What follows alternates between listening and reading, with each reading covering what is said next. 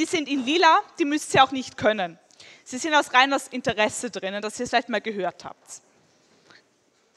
Okay?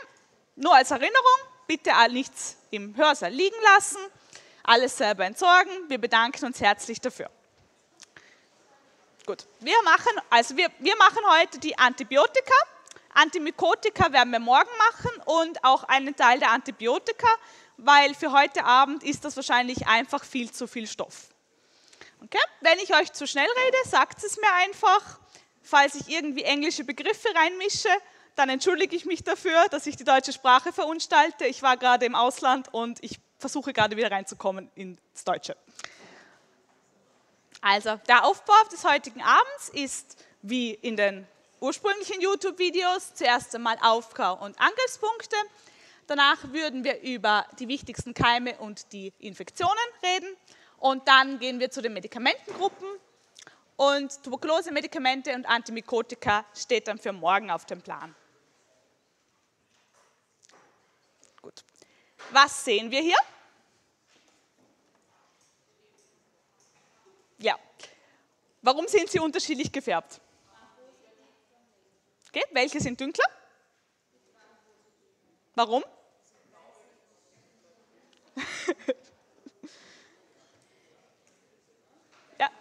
sprich.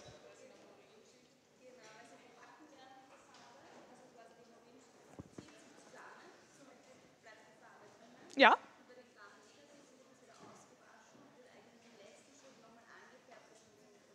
Okay.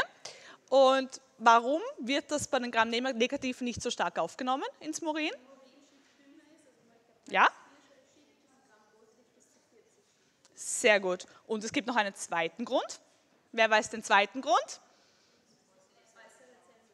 Ja, die erste Reihe sind meine kleinen Streber hier. Ich habe sie gern. Also, es müssen natürlich auch die anderen reden, hoffe ich. Ja, also, der, der große Unterschied zwischen der Anfärbung besteht aus zwei Gründen. Also zum einen haben die Gram-Positiven eine viel dickere Murinschicht. Wir sehen das dann am nächsten Bild. Und zum anderen haben die Gram-Negativen noch eine äußere Zellmembran. Also das schaut so aus, der Bakterienaufbau. Innen haben sie eine Plasmamembran, so wie die menschlichen Zellen auch. Eine Station weiter draußen haben sie die Zellwand, das ist diese Murinschicht. Das ist eine Wand, die den Bakterien Festigkeit verleiht und ihre Form. Also wenn wir sagen, das ist ein Stäbchen, dann schaut das stäbchenförmig aus, weil die Murinschicht diesem Bakterium die Form eines Stäbchens gibt. Das hier ist die Murinschicht von einem Gram-positiven Bakterium und das hier ist die Murinschicht von einem Gram-negativen. Und wir sehen hier gleich, die vom Gram-positiven ist viel dicker, wie die Kollegin gesagt hat, 40 mal dicker und die vom Gram-negativen ist viel dünner. Der zweite Unterschied besteht darin, dass die Gram-Negativen hier außen noch eine zweite Membran haben. Also die haben sowohl eine Plasmamembran hier innen, als auch eine Plasmamembran hier draußen. Und deswegen werden sie weniger stark angefärbt und sind in der Grammfärbung viel heller. Und die Gram-Positiven, die saugen sich sozusagen mit diesem Gentianer Violett, wie der Farbstoff heißt, voll und schauen deswegen purpurfarben aus. Wenn wir jetzt wieder nach innen zurückgehen, zu dieser Plasmamembran hier. Dann habe ich zwar gesagt, dass die eine Plasmamembran ist, so wie wir sie haben in unserem Körper, aber es besteht noch ein weiterer Unterschied zwischen den Bakterienzellen und unseren Zellen. Die Bakterienzellen, die betreiben nämlich, so wie unsere Mitochondrien, oxidative Phosphorylierung und gewinnen so ATP, also Energie. Und das passiert hier über die innere Plasmamembran. Unsere Mitochondrien waren ja ursprünglich evolutionär gesehen mal gramnegative Bakterien. Das heißt, bei den, bei den Mitochondrien in unserem Körper ist die oxidative Phosphorylierung ja auch über der inneren Mitochondrienmembran und so ist es hier bei den Bakterien auch über der inneren Plasmamembran. Das heißt, wir erzeugen hier einen Gradienten über dieser Membran. Von welchen Ionen? H-Ionen, genau. Das heißt, während der oxidativen Phosphorylierung werden hier H-Ionen drüber gepumpt. Weiß jemand, welches Antibiotikum diesen Fakt ausnützt? Aminoglycoside, genau. Das werden wir nachher durchgehen. Aber wir merken uns das mal im Hinterkopf. Dieser H-Transport ist ganz wichtig für die Wirkung der Aminoglycoside. Wenn wir hier keinen H-Transport haben, dann wirken die nicht. Okay? Also, innere Plasmamembran, H-Transport, ATP-Generation, Mitochondrien. Dann haben wir hier, wenn wir eins weiter nach draußen gehen, haben wir den periplasmatischen Raum. In diesem periplasmatischen Raum schwimmen jetzt Enzyme herum. Unter anderem schwimmen hier Beta-Lactamasen. Beta-Lactamasen sind deswegen für uns wichtig, weil sie eine Resistenz gegen Beta-Lactame hervorrufen. Beta-Lactame sind, sind Antibiotika, die wir verwenden, da gehören die Penicilline dazu, die Cephalosporine, die Carbapineme und das Aztreonam. Und die können inaktiviert werden durch Beta-Lactamasen. Also die Beta-Lactame werden durch Beta-Lactamasen inaktiviert. Bei den gramnegativen Bakterien sind die hier im periplasmatischen Raum. Bei den grampositiven Bakterien sind sie außen. Das können wir uns auch merken. Also in grampositiven Bakterien sind die Beta-Lactamasen nicht an das eine Bakterium gebunden, sondern die anderen Bakterien profitieren sozusagen davon, wenn ein Bakterium Beta-Lactamasen produziert. Das ist sozusagen ein Inokulum-Effekt. Das heißt, wenn wir jetzt sagen, wir haben jetzt hier unseren Bakterienstamm und der sitzt im Körper herum und 30 Prozent von diesen Bakterien exprimieren dieses Enzym, dann sind nicht nur diese 30 Prozent geschützt, sondern der Rest auch, weil nach außen abgegeben wird, dieses Enzym. Wenn wir jetzt hier die Murinschicht anschauen, die wir vorher erwähnt haben, Gram-positive haben eine dickere, Gram-negative eine dünnere, dann gibt es Enzyme, die Murein-Synthetasen, die produzieren dieses Murein. Okay? Das sind Enzyme, die sitzen hier drinnen und die produzieren Murein. Dieses Murein wird quervernetzt und bildet dann sozusagen ein stabiles Netz um unser Bakterium herum, damit das Bakterium seine Stabilität und seine Festigkeit behalten kann und überlebt. Dieses, diese Murinsynthetase, die ist hier Penicillin-bindendes Protein genannt. Wieso heißt das Penicillin-bindendes Protein? Weil das Penicillin seine Wirkung dadurch ausübt, dass es dieses Enzym hemmt. Was passiert jetzt, wenn wir unsere Murinsynthese hemmen? Was passiert mit unserem Bakterium? Hm? Ja? Und was passiert dann? Genau, das Bakterium stirbt. Also wenn das Bakterium hier seine Murinschicht nicht mehr hat, dann zerreißt es das praktisch von innen. Okay? Bakterium stirbt. Das heißt, wir können uns gleich schon mal was merken. Die, die äh, Antibiotika, die am Penicillin bindenden Protein ansetzen, das heißt die Beta-Lactame und das Penicillin gehört dazu, die wirken bakterizid auf die Bakterien. Alle Antibiotika, die die Murinsynthese hemmen, wirken bakterizid weil das Murin einfach absolut notwendig dafür ist, dass das Bakterium überlebensfähig ist. Das heißt, wir können uns für die gesamte Klasse der Murinsynthese Hämmer merken, sie sind Bakterizid. Okay, jetzt sitzen wir immer noch in der zweiten Schicht. Was hat es mit der außen, äußeren Schicht auf sich? Die äußere Schicht ist ein bisschen anders als die innere. Wir haben hier nämlich eine asymmetrische Membran. Und hier außen sitzen sitzt das Lipid A und das O-Polysaccharid und zusammen ergeben die das Lipopolysaccharid. Weiß jemand, wieso das Lipopolysaccharid für uns wichtig ist? Genau. Genau. Es gibt auch noch eine weitere Funktion von diesem LPS, weil hier ganz außen sitzt das Antigen. Das Antigen, was dann von unserem Körper eine Antwort hervorruft, die Antikörper erzeugt. Also das LPS ist nicht nur wichtig dafür, dass es ein Toxin ist, wenn das Bakterium stirbt, sondern auch deswegen, weil es die Antikörperantwort im Körper hervorruft. Okay? Also hier außen sitzen die Antigene. Und das Innere, dieses Lipid A, das ist das, was dann eigentlich die toxische Wirkung im Körper produziert. Ein Beispiel wäre jetzt zum Beispiel die Meningokokkensepsis. Bei der Meningokokkensepsis kommt es zu einer massiven Freisetzung von diesen LPS aus den Meningokokken und die führt dann zu einer disseminierten intravasalen Koagulation. Und weiß jemand, was das ist, eine DIC? Wir gehen es nachher eh nochmal durch. Okay, also es kommt zu einem... Genau. Okay. Also es ist bei der disseminierten intravasalen Gerinnung so, dass es zuerst zu einer starken Trombenbildung kommt durch den Entzündungsprozess.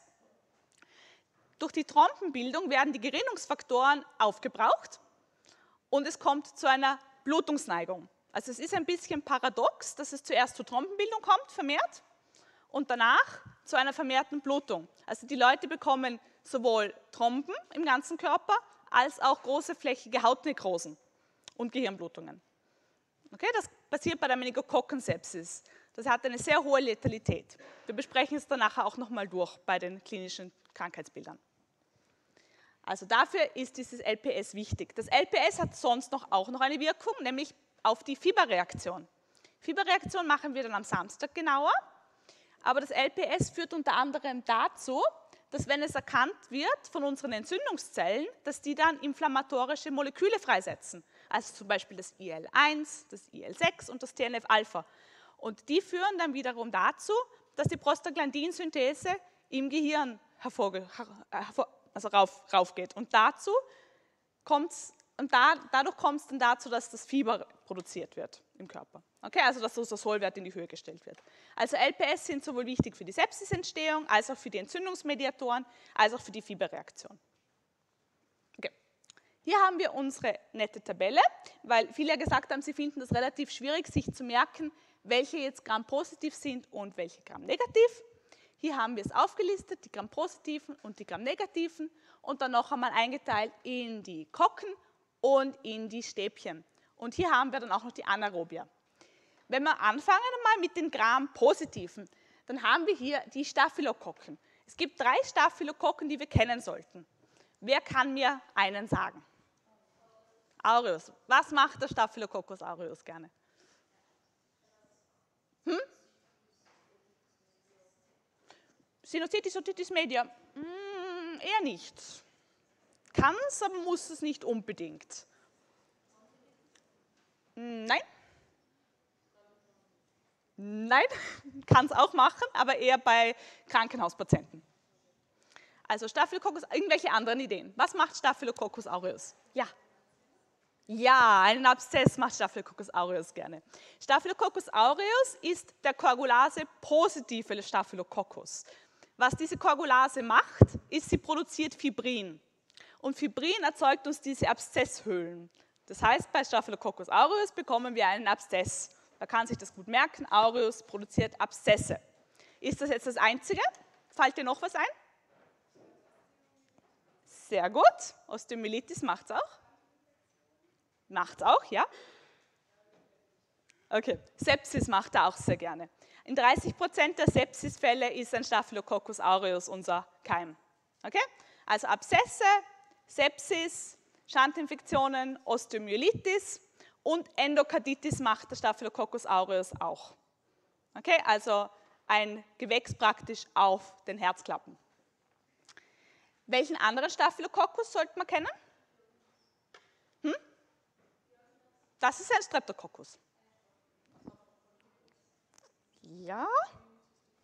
Ja, Honeymoon-Cystitis, Staphylococcus saprophyticus macht die Honeymoon-Cystitis. Wieso nennen wir das Honeymoon-Cystitis? Ja, muss nicht im Honeymoon sein. Aber HWI wird beim Geschlechtsverkehr übertragen, deswegen nennt man es Honeymoon-Cystitis. Einen einzigen Staphylococcus hätte ich noch gerne von euch. Fast. Knapp. Vielleicht mal eine andere Reihe. Ich, ich sollte nicht immer in die erste Reihe gehen. Zweite Reihe. Ein Staphylococcus für mich, bitte. Er sitzt auf der Haut. Ja, Epidermidis, genau. Was ist denn beim Staphylococcus epidermidis wichtig? Wann wird der für uns gefährlich, wenn er auf der Haut sitzt? Ich meine, der kann nicht so gefährlich sein, oder? Hm? Wunden unter anderem, aber es gibt noch etwas anderes. Was? Hm? Katheter, genau. Wieso, sitzt, wieso macht er so gerne Infektionen durch Katheter? Gibt es da irgendeinen Grund dafür? Genau, er produziert den Biofilm. Das heißt, er fühlt sich wahnsinnig wohl auf solchen Plastikoberflächen und bildet dann so einen Biofilm. Und das kann natürlich dann auch zu einer systemischen Infektion führen. Also der macht uns auch sehr gerne eine Sepsis und auch eine Schandinfektion, weil ein Schand ist ja auch ein künstlicher Gegenstand, der im Körper drinnen sitzt. Okay? Wenn wir jetzt weitergehen zu den Streptokokken, dann können wir die Streptokokken einteilen. Wie können wir denn die Streptokokken einteilen? Welche Reihe ist dran? Ja, genau, was heißt das?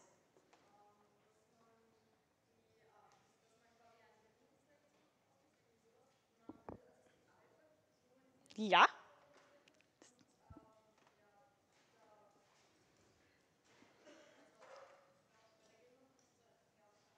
Genau, also es ist im, im Groben und Großen und Ganzen ist das richtig. Also das Hämolyseverhalten heißt, was macht unser Keim mit Blut? Wie testen wir das jetzt? Wir nehmen unsere kleine Platte, da ist ein Blutagar drauf. Der besteht aus Blut, dieser Film. Wir setzen unseren Keim drauf und dann warten wir eine Weile und dann schauen wir, was macht unser Keim mit dem Blut. Und wenn der jetzt alpha-hämolysierend ist, dann wird so ein kleiner grüner Hof entstehen unsere Keime. Wenn er beta-hämolysierend ist, dann wird das Blut rundherum durchscheinend. Das heißt, es ist eine komplette Hämolyse. Okay? Die Beta-Hämolyse ist der Streptococcus pyogenes. Der ist beta-hämolysierend. Das heißt, er erzeugt nur einen durchscheinenden Hof. Alpha-hämolysierend und der Streptococcus ähm, agalactiae, der ist auch beta-hämolysierend. Alpha-hämolysierend sind dann die Pneumokokken und die Viridan-Streptokokken. Der allerwichtigste Streptococcus für uns ist der Streptococcus pyogenes. Wieso ist der für uns so wichtig? Angina tonsillaris, genau. Wenn ich, also ich habe mich gestern ein bisschen krank gefühlt und hatte Schluckbeschwerden, Halsweh. Ein bisschen anginös. Denkst du, ich hatte einen Streptococcus gestern? Ja, zu 20 bis 30 Prozent. Wahrscheinlich, nein, eher, eher nicht. Wir machen das nachher noch einmal, welche Kriterien wir da nehmen können. Aber die meisten Leute, die eine Angina haben, haben keine Bakterien. Es ist in den meisten Fällen viral. Okay? Bitte teil mit uns, was du amüsant. Na, ich will auch lachen. es ist meistens nicht mehr so lustig, wenn man es nochmal sagen muss, aber es ist okay. Es passt schon. Also, Streptococcus pyogenes macht die Angina tonsillaris. Kann der auch noch andere Dinge machen? Irgendwas anderes? Ja, Sinusitis kann er auch machen. Ist jetzt auch nicht unser Hauptscharlach, genau. Streptococcus pyogenes macht auch den Scharlach. Weißt du, was der Unterschied ist zwischen denen, die Angina tonsillaris machen und die, die Scharlach machen? Ja. Was könnten Sie abgeben? Ja, Sie geben ein Toxin ab. Also es gibt toxinproduzierende Streptococcus pyogenes Stämme, die produzieren ein erythrogenes Toxin. Was heißt das? Es schädigt unsere Kapillaren. Und durch diese Kapillarschädigung kommt es dann zum Scharlach. Das heißt, der Scharlach ist eine eher systemisch wirkende Infektion. Es kommt sowohl zur Tonsillenschwellung, so wie bei der Gina tonsillaris, also mit diesen Stippchen, die sich entwickeln auf den Tonsillen. Es kommt aber auch zu einem Hautausschlag, es kommt zu hohem Fieber, es kommt zu Übelkeit. Auch das Gesicht verfärbt sich, das nennt man dann Facies scalatinosa. Das ist ein ganz typisches, Krankheits-, also ein ganz typisches Krankheitszeichen. Die haben ein rotes Gesicht und um den Mund herum ist es weiß und sie bekommen so eine Erdbeer- und Himbeerzunge. Das heißt, die Zunge wird ganz rot, am Anfang hat sie weiße Pünktchen, am Schluss hat sie dann keine weißen Pünktchen mehr. Erdbeer versus Himbeerzunge. Okay? Es gibt dann auch noch Folgeerkrankungen von der Streptococcus pyogenes Infektion. Das ist die Glomerulonephritis und das rheumatische Fieber. Das machen wir dann ein bisschen genauer, wenn wir zu den Infektionen kommen. Also, Streptococcus pyogenes war welches Hämolyseverhalten? Nochmal zur Wiederholung. Beta, genau, Beta-Hämolysierende. Zu den Beta-Hämolysierenden gehört dann auch noch der Streptococcus agalactiae. Der hat einen sehr eigenartigen Namen, hat nichts mit der Galaxis zu tun. Der macht eine ganz spezielle Infektion. Welcher ist das? Genau, neugeborene Meningitis. Wieso kommt es gerade bei den Neugeborenen dazu? Weißt du das? Ja, sehr gut. Ja. So ist es. Das heißt, was würdest du machen, um diese Infektion zu vermeiden?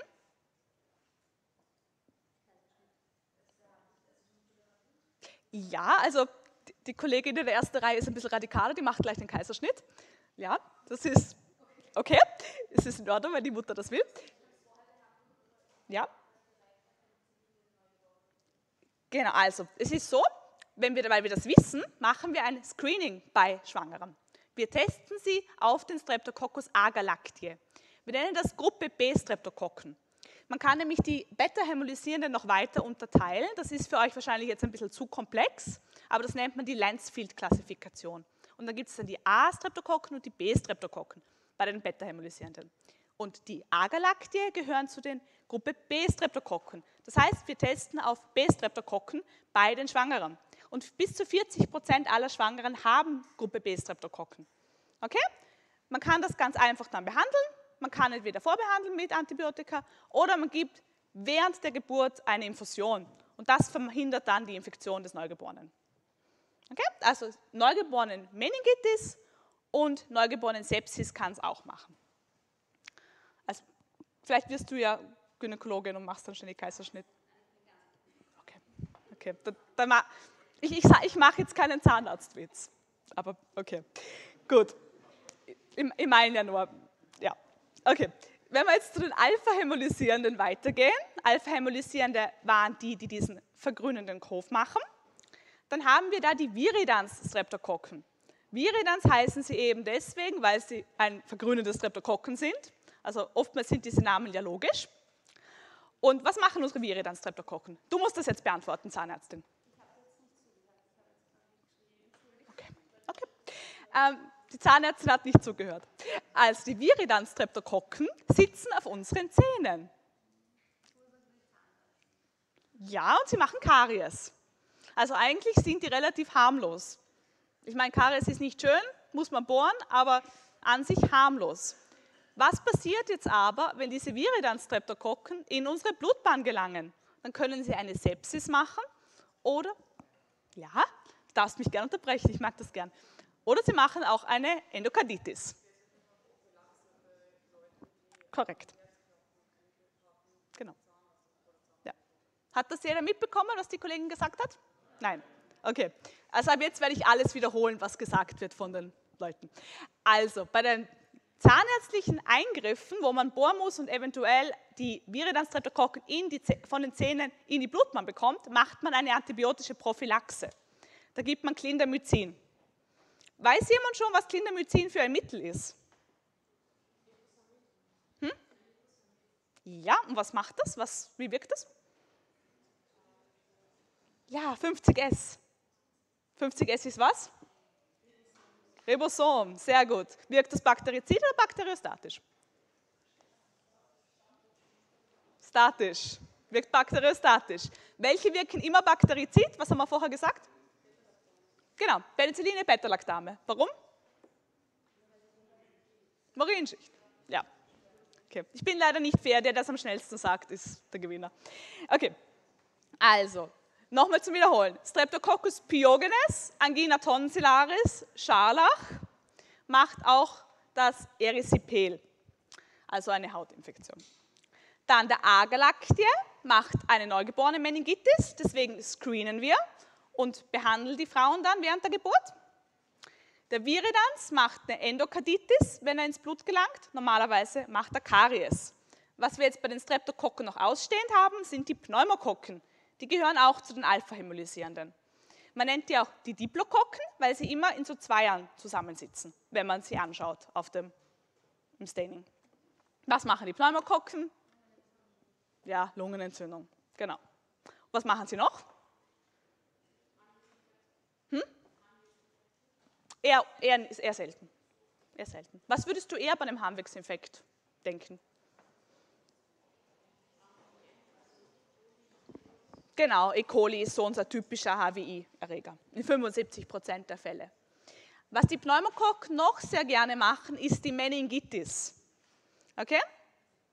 Also ist einer unserer Hauptmeningitis-Erreger, vor allem bei Erwachsenen. Bei Kindern ist eher Neisseria meningitidis, den haben wir hier drüben. Das ist ein Gramm-negativer, aber auch ein Kokos. Und Listerien können auch eine Meningitis machen. Keine, keine Angst, wenn ihr das jetzt nicht aufgeschrieben habt, es kommt nachher alles noch einmal. Ich muss nochmal auf die Zeit schauen, weil wahrscheinlich verbringen wir die erste Stunde mit Krankheiten. Gut. Dann haben wir noch die Enterokokken. Was machen die Enterokokken? Hm, können Sie auch machen? Ja. Ja. Ich gebe auch hm, eher weniger. Das machen eher die Anaerobier. Also Enterokokken machen auch gern die Endokarditis. Merkt man sich auch mit dem EEE. E. Endokarditis-Erreger sind einmal die Staphylokokken, Staphylococcus aureus, der Epidermidis haben wir gesagt, die Viridan-Streptokokken und dann noch die Enterokokken. Die Enterokokken sind für uns jetzt Problemkeime. Es gibt zwei. Es gibt den Fecalis und es gibt den Fecium. Und es gibt jetzt bei manchen Antibiotika den Unterschied, dass sie zwar beim Fecalis wirken, aber beim Fecium nicht. Das ist zum Beispiel die Aminopenicilline, die wirken gut beim Fecalis, in den meisten Fällen, beim Fecium überhaupt nicht. Carbapeneme, genau das gleiche. Fecalis ja, Fecium komplett resistent. Das einzige, das einzige Medikament, wo wir haben, wo es genau umgekehrt ist, das ist das Quinoprestin, Dalfoprestin, auch als Synazid bekannt. Das wirkt beim Fecium gut, beim Fecalis ist es komplett unwirksam. Kommt alles nachher nochmal. Wenn wir jetzt weitergehen zu den Corinne-Bakterien, die sind für uns heutzutage nicht mehr so wirklich relevant. Was würden Corinne-Bakterien denn machen? Diphtherie, genau. Und welcher Patient ist früher an Diphtherie erkrankt? Kinder. Weiß jemand von meinen Videos noch, wie man das früher nannte? Ja, den Würgeengel der Kinder. Weil die ganzen Kinder sind an Diphtherie erkrankt, es haben sich Pseudomembranen gebildet bei ihnen und sie sind erstickt. Heutzutage haben wir das nicht mehr, weil wir eine Impfung haben gegen Diphtherie. Die Nokardien sind für uns nicht so relevant. Ich habe sie nur trotzdem aufgeschrieben, weil man es schon ab und zu hört. Nokardien sind für Patienten relevant, die immunsupprimiert sind, also HIV-Patienten, Patienten unter Chemotherapie, Patienten nach einem Organtransplantat, die können eventuell an Nokardien erkranken. Das kann dann sowohl systemisch als auch lokal auf der Haut sein. Ist für uns aber jetzt nicht so der Keim, den wir können müssen. Wichtig sind für uns eher Staphylokokken und Streptokokken. Die Listerien, was machen die Listerien? Ja. Wem sagt man denn, sie sollen bestimmte Lebensmittel vermeiden? Schwangere. Warum? Was passiert, wenn eine Schwangere an Listerien erkrankt? Hm? Ist das für sie schlimm oder ist das für das Kind schlimm? Ja, das Kind wird infiziert. Also die Listerien können, wenn eine Schwangere sich mit Listerien infiziert, das Kind befallen. Das erzeugt dann eine Erkrankung, die heißt Granulomatosis infantiseptica. Da steckt schon drinnen, dass das eigentlich sehr, sehr schwerwiegendes Krankheitsbild ist. Es ist eine Sepsis des Neugeborenen, bei dem sich Granulome bilden, Abszesse in verschiedenen Organsystemen. Das heißt, das Kind wird dann meistens kurz nach der Geburt sterben oder es ist schon eine Totgeburt. Es kommt zu einem Abort. Deswegen sollte man es vermeiden, während der Schwangerschaft rohe Milch, Fleischprodukte zu essen, weil die oft mit Listerien befallen sind. Okay? Es kann auch zur Infektion eines Neugeborenen kommen. Das führt dann auch zu einer Meningitis, so wie die Pneumokokken oder die Meningokokken. Kann auch die Lister können auch die Listerien zu einer Meningitis führen. Nicht nur beim Neugeborenen, sondern auch bei Immunsupprimierten. So wie die Nokardien die immunsupprimierten Leute befallen, so befallen auch die Listerien gerne Leute, bei denen das Immunsystem ein bisschen kompromittiert ist. Es betrifft auch Ältere, weil im Alter geht auch unser Immunsystem runter. Das heißt, Leute ab einem bestimmten Alter, man sagt so ab 60 Jahren, ist auch die Listerien-Meningitis bei normal, äh, gesunden Menschen wieder am Aufsteigen. 22 Prozent der Meningitiden im Alter über 60 sind Listerien-Meningitis. Und das ist für uns deswegen wichtig, weil wir dann auch andere Antibiotika geben müssen. Okay? Das sind jetzt alles Sachen, die ihr vielleicht nicht im Seminar wissen müsst, die aber für die Praxis in der Klinik durchaus relevant sind. Und vielleicht ist es dann auch einfacher, sich die Sachen zu merken, wenn man sich merken kann, okay, wenn ich jetzt jemanden habe, der ist schon älter, es könnte eine Listeria-Meningitis sein, dann wisst ihr, okay, dann nehme ich das Antibiotikum, nicht das Antibiotikum. Gardnerella. Gardnerella hat auch was mit der Frau zu tun. Gardnerella macht nämlich eine vaginale Entzündung. Das ist bei der bakteriellen Vaginose beteiligt. Deswegen heißt der Keim auch Gardnerella vaginalis. Ist für uns jetzt nicht so wichtig. Die bakterielle Vaginose ist nur dann wichtig bei Frauen, die schwanger sind wieder mal. Ich werde übrigens nicht Gynäkologin. Es kommt nur bei diesen Keimen sehr oft vor. Weil die Frauen, die schwanger sind und eine bakterielle Vaginose haben, die haben ein höheres Risiko, eine Frühgeburt zu bekommen.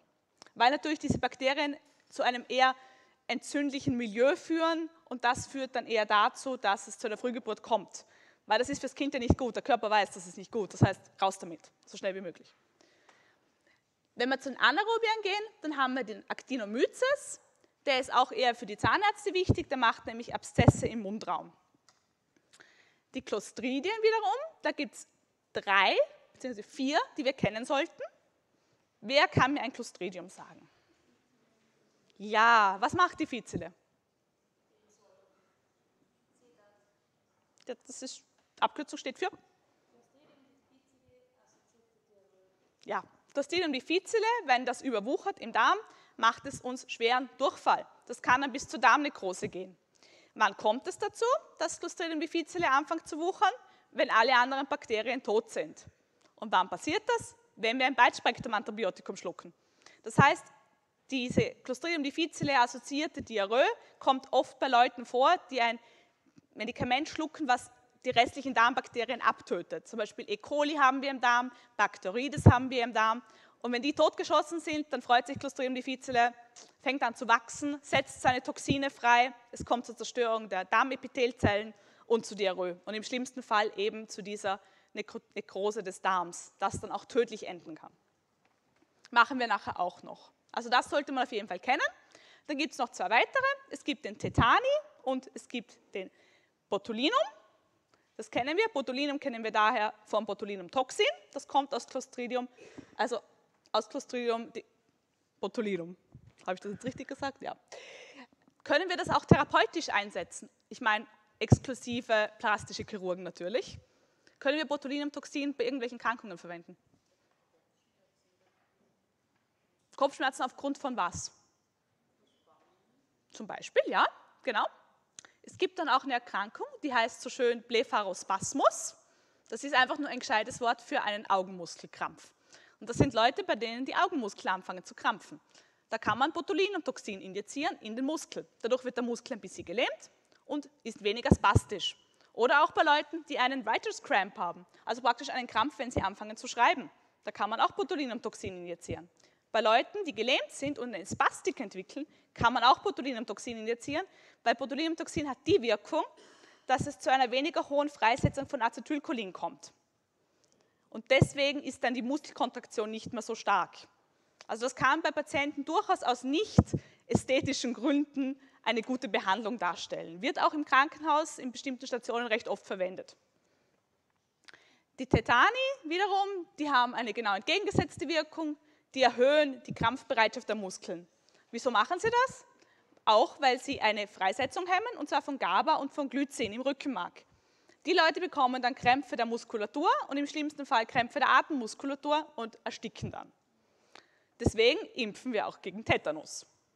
Weil diese Sporen vom Clostridium tetani, die sitzen in der Erde. Wenn man sich verletzt und in die Haut bekommt, dann kommt es zu diesem Wundstarkrampf.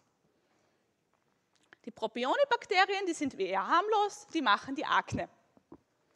Der Lactobacillus, Lactobacillus ist gut, das sind diese Dödeleinbakterien, die in der Vaginalflora sitzen und praktisch das Wachstum von Gardnerella etc. verhindern. Das wären eigentlich die wichtigsten Gram-positiven. Wenn wir zu den Gram-negativen rüberschwanken, dann haben wir als ersten den Neisseria gonorrhoe. Da muss man eigentlich jetzt nicht viel dazu sagen, da steckt schon die Erkrankung drinnen im Namen der macht die Gonorrhoe. Neisseria meningitidis macht die Meningitis. Was macht Moraxella cataralis? Bisschen weiter oben. Mhm. Sinusitis, Otitis media macht Moraxella cataralis. Tonsillitin eher weniger. Hämophilus, da gibt es den Hämophilus influenzae. Man dachte früher, das ist der Erreger der Influenza. Heute wissen wir, das ist viral übertragen, aber wir können uns so merken, Hämophilus macht zum Beispiel die Pneumonie, macht die Otitis media, macht die Sinusitis. Hat auch früher bei Kindern Meningitis gemacht, aber heutzutage impfen wir dagegen, deswegen ist das eher am Rückgehen. Dann haben wir hier die große Gruppe der Enterobakterien. Die Kollegin hat schon gesagt, E. coli macht sehr oft den Harnwegsinfekt. In 75 Prozent der Fälle ist E. coli daran schuld. Andere Vertreter sind dann noch die Klebsiellen. Klebsiellen sind für uns ein Problemkeim, weil sie sehr oft Enzyme exprimieren, die sie resistent machen. Dann haben wir noch den Proteus, der macht auch oft Harnwegsinfekte. Dann haben wir die Salmonellen. Was machen denn die Salmonellen? Typhus, genau. Also auch bei uns weniger relevant. Serratia ist für uns auch nicht so relevant, Enterobacter auch weniger. Was für uns wichtig ist, ist Pseudomonas. Was zeichnet den Pseudomonas aus? Warum ist der für uns wichtig? Wer, hm, Wachsschicht eher weniger. Was hat denn eine Wachsschicht? Ja. Hm? Genau, bei beatmeten Patienten unter anderem ist Pseudomonas ein Problemkeim. Gibt auch noch eine andere Patientengruppe, bei der Pseudomonas eher problematisch ist? Weiß jemand welche? So heißt er. Mukoviszidose-Patienten kriegen oft Pseudomonas. Also die Kinder mit zystischer Fibrose, die den Schleim nicht richtig abatmen können, die bekommen auch oft eine Pseudomonas-Infektion. Hm? Wenn sie die Lungenfunktion beeinträchtigen. Also nicht jede genetische Erkrankung wird eher dazu führen, dass du Pseudomonas bekommst. Das hängt mehr damit zu tun, dass, hat mehr damit zu tun, dass Pseudomonas eben gerne in der Lunge wächst, wenn es jetzt zum Beispiel ein beatmeter Patient ist, wenn es ein Patient ist, der den Schleim nicht richtig abrusten kann, wenn es ein Patient ist, der eh schon im Krankenhaus liegt und vielleicht die Lungenfunktion beeinträchtigt ist. Also Pseudomonas ist für uns ein Problemkeim im Krankenhaus. Leute außerhalb des Krankenhauses kriegen eigentlich keine Pseudomonas-Pneumonie. Das passiert Leuten, die im Krankenhaus sind. Das heißt, es ist eine nosokomiale Infektion. Und Bakteroides kann zwar Infektionen im Bauchraum machen, ist ein Gramm-negativer Anaerobia, ist für uns aber eher nützlich. Bei Bakteroides gehört zu den Keimen, die unseren Clostridium difficile in Schach halten. Der sitzt in unserem Darm und sorgt praktisch als Housekeeping-Bakterium dafür, dass das Clostridium difficile nicht so stark wächst. Es macht also noch zwei andere Sachen. Es produziert Vitamin K. Wofür brauchen wir Vitamin K? Genau, welche? Genau, C972. Und er spaltet das Glucuronid. Also wir wissen ja, beim enterohepatischen Kreislauf haben wir ein Glucuronid drangehangen und das wird abgespalten vom Bakteroides. Und dann kann unser Medikament oder unser Stoff wieder reabsorbiert werden vom Körper. Also dafür ist der nützlich. Dann haben wir hier noch die intrazellulären Erreger. Bei den intrazellulären Erregern haben wir die Chlamydien, die Mykoplasmen, die Legionellen und die Rickettien. Chlamydien ist auch wieder relativ logisch, was die machen. Was machen Chlamydien?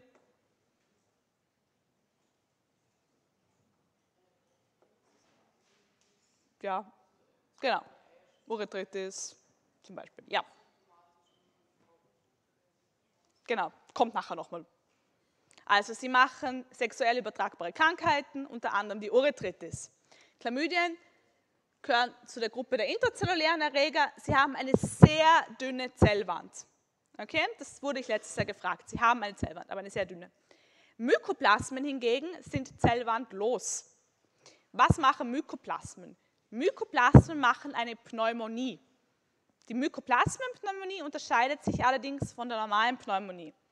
Wie genau, das schauen wir uns nachher an. Die Legionellen die machen die Legionärskrankheit, das ist auch eine Art von Pneumonie.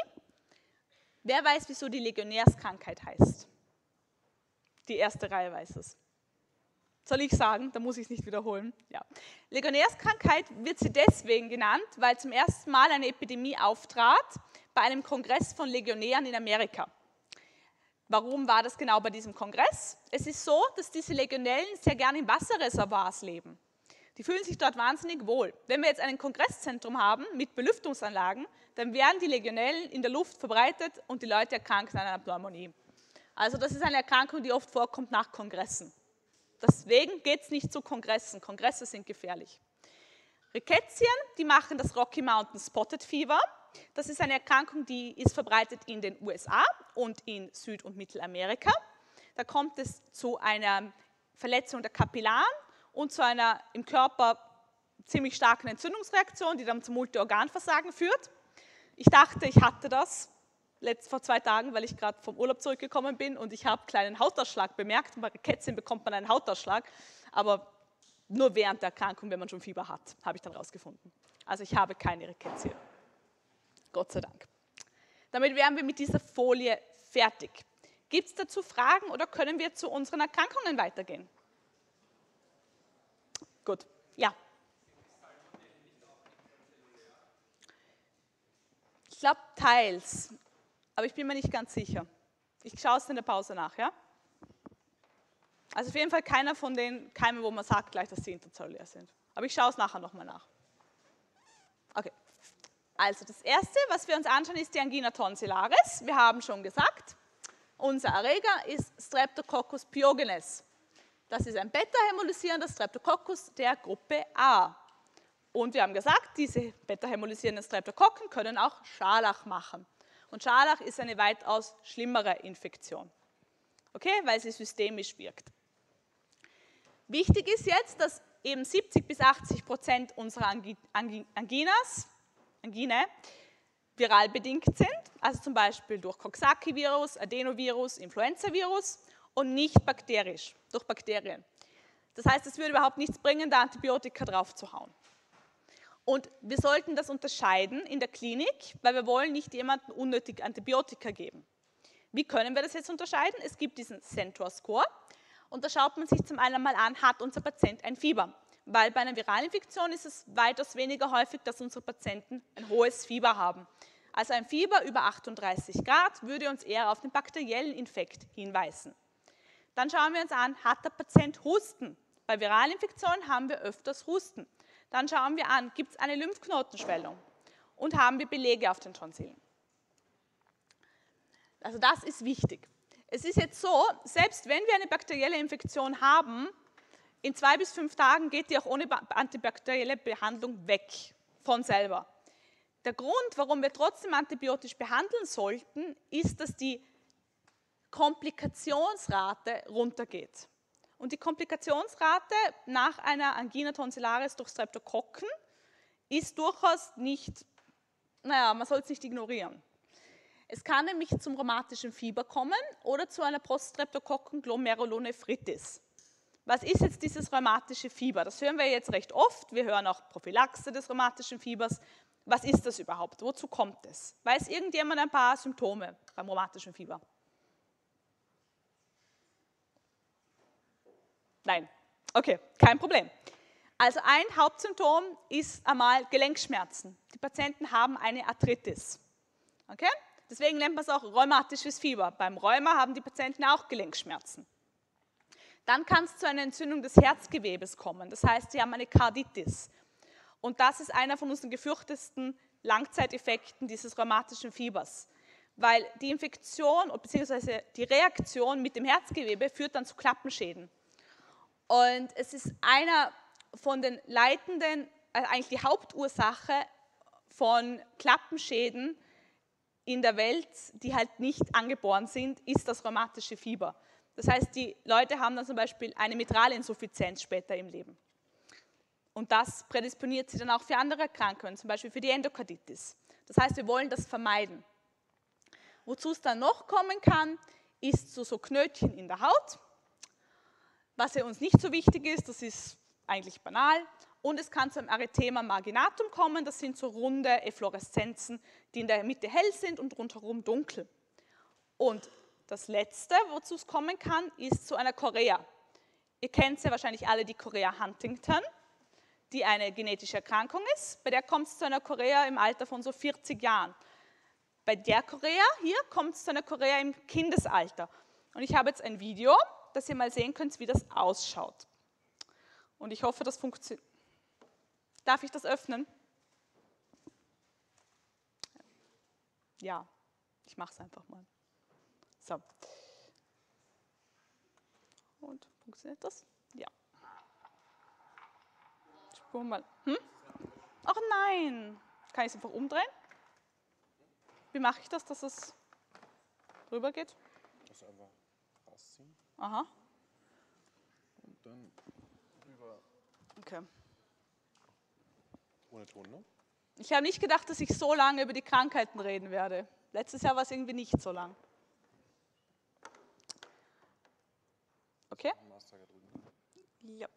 Also, wie ihr seht, sie kann die Bewegung nicht wirklich sehr flüssig ausführen. Sie macht das nicht absichtlich.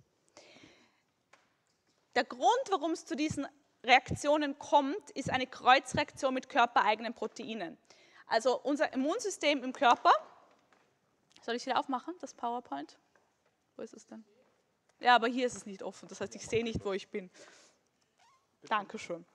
Also es kommt zu einer Kreuzreaktion mit körpereigenen Proteinen. Unser Immunsystem sieht zuerst mal unseren Streptococcus pyogenes und produziert Antikörper gegen den Streptococcus. Es ist aber so, dass die Oberflächenproteine vom Streptococcus so ähnlich aussehen wie körpereigene Proteine. Das heißt, diese Antikörper werden mit dem Körper kreuzreagieren.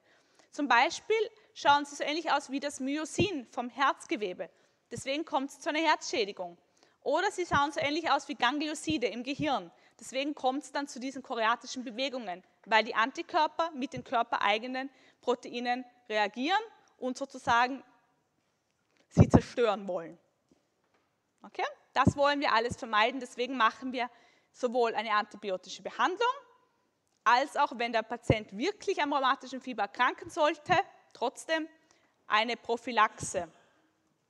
Und da verwendet man Penicilline. Entschuldigung. Gut. Hier haben wir mal noch eine Erinnerung auf ähm, eine Nebenwirkung, die immer gefragt wird. Das ist sozusagen die Lieblingsnebenwirkung von allen, weil man behandelt die Angina tonsillaris ja sehr gerne mit Penicillin, vor allem mit den Aminopenicillinen. Wenn wir jetzt aber eine Epstein-Barr-Virus-Infektion haben, die durchaus ähnlich aussehen kann wie eine Angina tonsillaris, und wir geben ein Aminopenicillin, dann wird es bei unseren Patienten zu einem Exanthem kommen. Das ist grundsätzlich harmlos. Aber es juckt wahnsinnig. Epstein-Barr-Virus-Infektion ist, wie gesagt, hat ein englisches Krankheitsbild, also Halsschmerzen, Lymphknotenschwellung, betrifft vor allem Jugendliche. Man sagt, es ist the Kissing Disease, weil es von einem auf den anderen übertragen wird und die Jugendlichen küssen sich ja so wahnsinnig viel. Ja. Ähm, ein Risiko bei Epstein-Barr-Virus-Infektion ist dann, dass auch die Milz betroffen ist. Das heißt, die Milz schwillt extrem an und es kann zu einer Milzruptur kommen. Das ist eine der gefürchteten Komplikationen. Dieses Exanthem ist unangenehm, aber nicht gefährlich. Wie therapieren wir die Angina tonsillaris? Unser Mittel der Wahl ist Penicillin V. Wer weiß schon, warum wir nicht Penicillin G geben, sondern Penicillin V? Penicillin V ist das oral verfügbare Penicillin, Penicillin G gibt man nur IV. Und wenn unser Patient eine Angina tonsillaris hat, dann wollen wir ihm nicht IV-Antibiotika geben, weil das wäre nicht wirklich adäquat, wenn wir jemanden ambulant behandeln. Alternativen sind dann die Cephalosporine oder das Erythromycin, das gehört zu den Makrolinen. Das ist sozusagen unser Ausweichstoff bei einer Penicillinallergie, weil das wirkt auch gut gegen den Streptococcus pyogenes.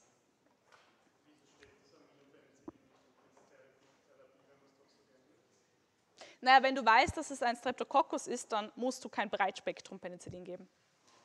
Also ähm, die Aminopenicilline, die wirken ja verbessert im Vergleich zum Penicillin V. Das machen wir nachher alles noch genauer, aber die wirken auch gegen gramnegative Keime. Wenn wir jetzt aber eh schon wissen, dass in den meisten Fällen wir einen Streptococcus pyogenes als Erreger der Angina tonsillaris haben, dann haben wir keinen Grund, ein Aminopenicillin zu geben, weil das erwischt zwar unseren Streptococcus, aber es erwischt halt auch viele andere Keime und wir wollen ja so wenig wie möglich Resistenzen erzeugen in unseren Patienten. Also wir nehmen immer das, was unser Spektrum am knappesten abdeckt. Wir vermeiden Breitspektrum-Antibiotika. Ja, wenn du zum Beispiel Sinusitis hättest, dann könntest du, ein, aber bei, der, bei einer reinen Angine würdest du es nicht nehmen. Das heißt, es ist eigentlich absolut unlogisch, dass, das, dass wir das lernen, weil du es eigentlich eh nicht nehmen würdest, weil es nicht indiziert ist. Ja. Okay. Die nächste wichtige Erkrankung, die wir können sollten, beziehungsweise dessen Keime, deren Keime wir können sollten, ist die Otitis media. Erreger sind hier, haben wir vorher schon gehört, die Pneumokokken und das Streptococcus wieder. Hier zum Beispiel, mein lieber Kollege in der ersten Reihe, hier hast du auch die Streptokokken dabei. Aber es sind nicht nur Streptokokken, es ist auch der Hämophilus dabei, ein Gramm negativer Keim, und der Moraxella, auch ein Gramm negativer Keim. Also wenn wir jetzt hier Penicillin V geben, dann ist das vielleicht nicht ideal, weil Penicillin V erwischt weder Hämophilus noch Moraxella. Hier würden wir dann eher ein Amoxicillin geben. Wer erkrankt besonders gerne an der Otitis media? Ja, Kinder. Wieso? Genau. Genau, sehr gut. Hm? Ja, also die Kinder haben eine kurze Tuba Eustachii, eine eustachische Röhre. Deswegen aszendieren Keime besonders gerne vom Hals-Rachenraum hinauf ins Mittelohr. Das führt dann zu einer Otitis media. Wie schaut diese Otitis media aus? Die Kinder haben sehr starke Ohrenschmerzen, sie greifen sich andauernd zum Ohr hin. Es kann sein, dass sie einen Ausfluss haben aus dem Ohr, es kann sein, dass das Ohr gerötet ist. Ja. Okay, kein Problem. Also, Sie haben Ohrenschmerzen, das ist einfach ein anderes Wort, Otalgie. Tragus ist der vordere Teil vom Ohr hier. Wenn man da drauf drückt, dann tut Ihnen das weh. Also Sie haben einen Tragus-Druckschmerz. Es kann eben zu einer Otorö kommen, zu einem Mittelohrguss. Das schaut dann so aus. Also wenn wir eine Otoskopie machen mit diesem netten Gerät, dann sehen wir hier einen Eiterspiegel. Es kann sein, dass sich das Trommelfell nach außen wölbt, dass es gerötet ist. Und es kommt natürlich zu einer Hörverminderung, weil wenn wir jetzt hier Eiter bzw. Flüssigkeit im Mittelohr haben, dann wird das Kind weniger gut hören können. Es ist jetzt so, dass in den meisten Fällen auch diese Otitis media sich von selber ergibt. Wir müssen keine Antibiotika geben.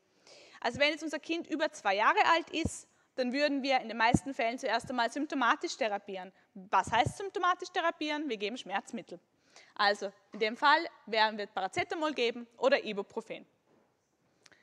Nach zwei bis fünf Tagen ergibt sich das dann von selber. Das Wichtige ist halt, dass wir eine Schmerzlinderung machen. Bei wem würden wir jetzt antibiotisch therapieren? Grundsätzlich bei allen Kindern unter sechs Monaten. Und bei Kindern zwischen 6 und 24 Monaten würden wir ein bisschen differenzierter vorgehen. Wir würden einmal zuerst schauen, sind beide Ohren betroffen, wie stark sind die Schmerzen, wie hoch ist das Fieber. Was sind die Komplikationen der Otitis media? Das sind einmal die Mastoiditis und die Meningitis. Was ist eine Mastoiditis? Was ist da entzündet? Hm? Ja, das Mastoid. Also das Mastoid ist hier hinten der Knochen. Was ist jetzt die Gefahr von einer Mastoiditis? Es ist ja so, dass wir Hirnnerven haben. Und einer von unseren Hirnnerven läuft jetzt in diesem Gebiet. Das ist der siebte Hirnnerv, der Nervus facialis. Der Nervus facialis innerviert unsere mimische Muskulatur im Gesicht. Das heißt, wenn es hier zu einer Mastoiditis kommt, dann kann es auch zu einer Schädigung vom Nervus facialis kommen und unser Kind bekommt eine Gesichtslähmung. Und das geht dann auch nicht mehr weg. Also ein Grund, warum wir antibiotisch therapieren, ist auch, um das Risiko einer Mastoiditis zu vermindern. Das wird nämlich auf die Hälfte reduziert durch antibiotische Therapie. Im schlimmsten Fall kommt es noch zu einer Ausbreitung, also jenseits des Knochens und dann auch zu einer Meningitis. Das wäre natürlich unser Worst-Case-Szenario. Hier haben wir nochmal die Therapie.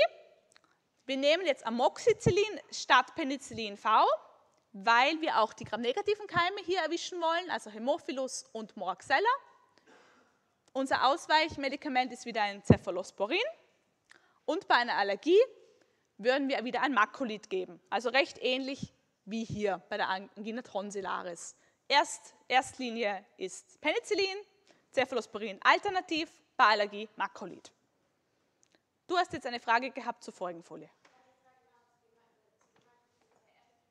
Ja, ist es. Ja. Also ich, ich habe das hier übernommen aus der Leitlinie.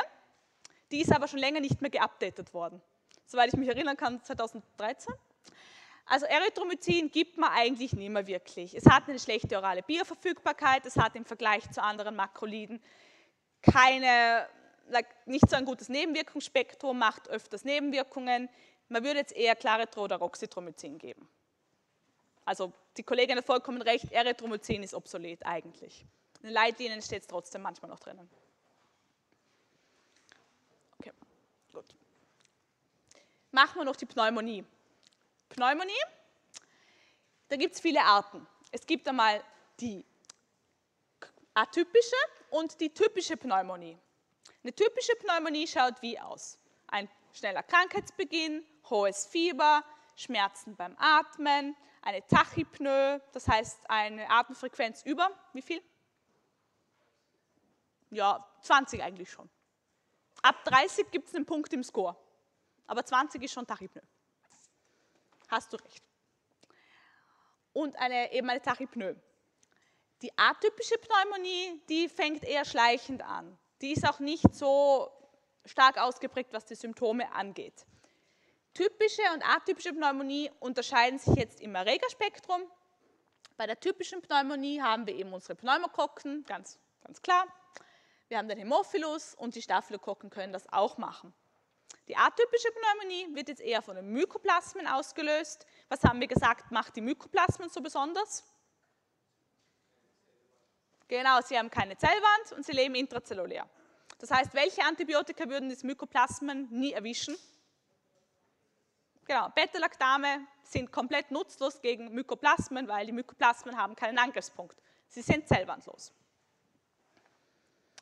Dann können wir noch unterscheiden zwischen der Community-Acquired Pneumonia und der nosokomialen, also der Hospital-Acquired Pneumonia. Da gibt es auch wieder unterschiedliche Keimspektren. Bei der nosokomialen haben wir jetzt öfters Pseudomonas und Gram-negative, also E. coli, Proteus. Und bei der Community Acquired haben wir wieder unsere typischen Pneumonieerreger. Lober versus interstitiell sagt uns, welche anatomische Lokalisation unsere Entzündungsherd hat. Lober heißt, ein Lappen ist betroffen. Interstitiell heißt, das Gewebe zwischen den Kapillaren und dem Lungengewebe ist betroffen. Und wie, was ist dieser CAB-Score und dieser beziehungsweise CURB-Score? Wir haben ja vorher gesagt, wir haben den Central Score, um zu unterscheiden, ob wir viral oder bakterielle Angina tonsillaris haben. Dieser CAB-Score, der sagt uns jetzt, wie gefährlich unsere Pneumonie ist. Weil eine Pneumonie kann durchaus banal sein, sie kann aber auch sehr schnell zum Tod führen, wenn der Patient ohnehin schon prädisponiert ist. Dieser CAB-Score verwendet jetzt ein paar Parameter. Zum einen verwendet er mal, wie die Bewusstseinslage vom Patienten ist. Hat, ist der Patient verwirrt? Ist das Bewusstsein irgendwie eingetrübt? Dafür steht das C, also Confusion, Consciousness. Das U, das steht für unseren BUN, also für unser Blood Urea Nitrogen. Das ist praktisch der Ammoniak, der im Blut an unser Harnstoff gebunden ist. Das sagt uns was aus über die Nierenfunktion und darüber, wie dehydriert der Patient ist. Okay, wenn das erhöht ist, über 19 Milligramm pro Deziliter, dann bekommt er einen Punkt. Also eine Erhöhung von diesem Bund, den ihr öfters im Krankenhaus sehen werdet oder schon gesehen habt, ist ein schlechter prognostischer Faktor. Das R steht wieder für unsere Respiratory Rate. Der Kollege hat schon gesagt, über 30 ist eine Tachypnoe. Allgemein über 20 ist schon Tachypnoe über 30 bekommt man hier einen Punkt für ein erhöhtes Risiko. Das B, das steht jetzt für Blood Pressure. Wenn der Blutdruck erniedrigt ist, also systolisch unter 90, diastolisch unter 60, ist das auch ein erhöhtes Risiko, weil das heißt, dass der Patient seinen Kreislauf nicht aufrechterhalten kann. Das 65 steht jetzt für das Alter. Bei Patienten in einem höheren Alter haben wir erhöhtes Risiko für Mortalität. Wenn jetzt unser Score 0 ist, dann können wir den Patienten ambulant behandeln, wir geben ihm Antibiotikum, wir sagen, sie kommen am nächsten Tag wieder und wir schauen, wie es ihnen geht. Zwischen 1 und 2 gehen wir differenziert davor, da schauen wir uns vielleicht noch an, was für Zusatzerkrankungen hat unser Patient, kann der sich daheim die Medikamente selber geben, hat er Leute, die ihm helfen, falls es irgendwie schlechter gehen sollte. Da könnte man auch eventuell überlegen, ob wir den Patienten nicht gleich stationär behandeln. Wenn der Score über 3 ist, dann sollten wir ihn sofort stationär aufnehmen. Es gibt dann auch noch andere Scores, die uns sagen, ob wir den Patienten gleich intensivmedizinisch betreuen sollten. Aber die müsste nicht können. Der ist auch nur aus Interesse halber hier. Okay? Das müssen wir jetzt, glaube ich, nicht so genau durchgehen, weil wir eh zeitlich schon ein bisschen knapp beieinander sind. Aber hier habt ihr nochmal die Guidelines aufgelistet, was man bei welcher Art von Pneumonie geben soll, warum und wieso.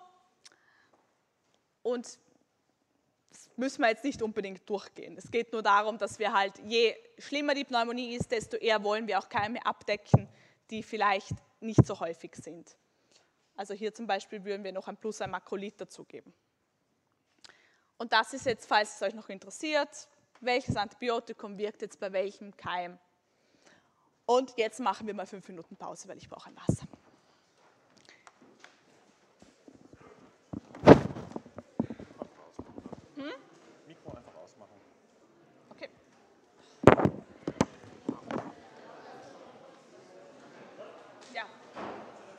Schalte nur mein Mikro aus.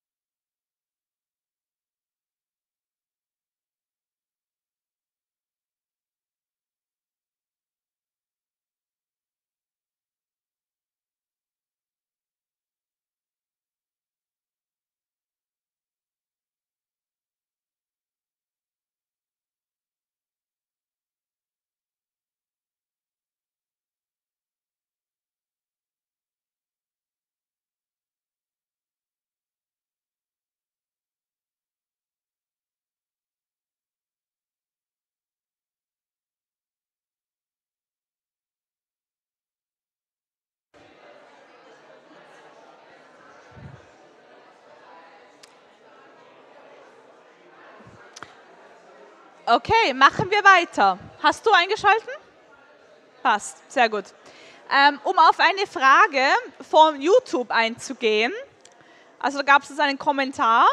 Ähm, soweit ich weiß, gibt man das Aminopenicillin gleich mit dem Beta-Lactamase-Inhibitor, weil auch Hämophilus eine Beta-Lactamase produzieren kann. Aber 100% sicher bin ich mir nicht. Bitte noch einmal nachschauen. Ich würde sagen, wir gehen noch mal ganz kurz auf die Tabelle ein, weil wir verwenden gerade eh schon sehr, sehr viel Zeit für die Krankheiten, also kann ich es genauso gut kurz noch mal machen und schon auf die Antibiotika vorgreifen, für die, die schon da sind. Also beim Hämophilus influenzae geben wir weswegen ein Aminopenicillin und kein Penicillin G?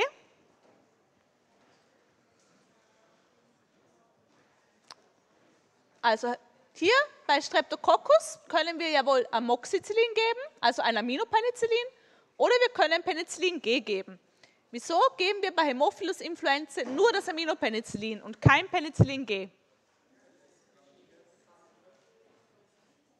Genau, Penicillin G wirkt gegen gramnegative Keime nicht. Hämophilus influenzae ist ein gramnegativer Keim.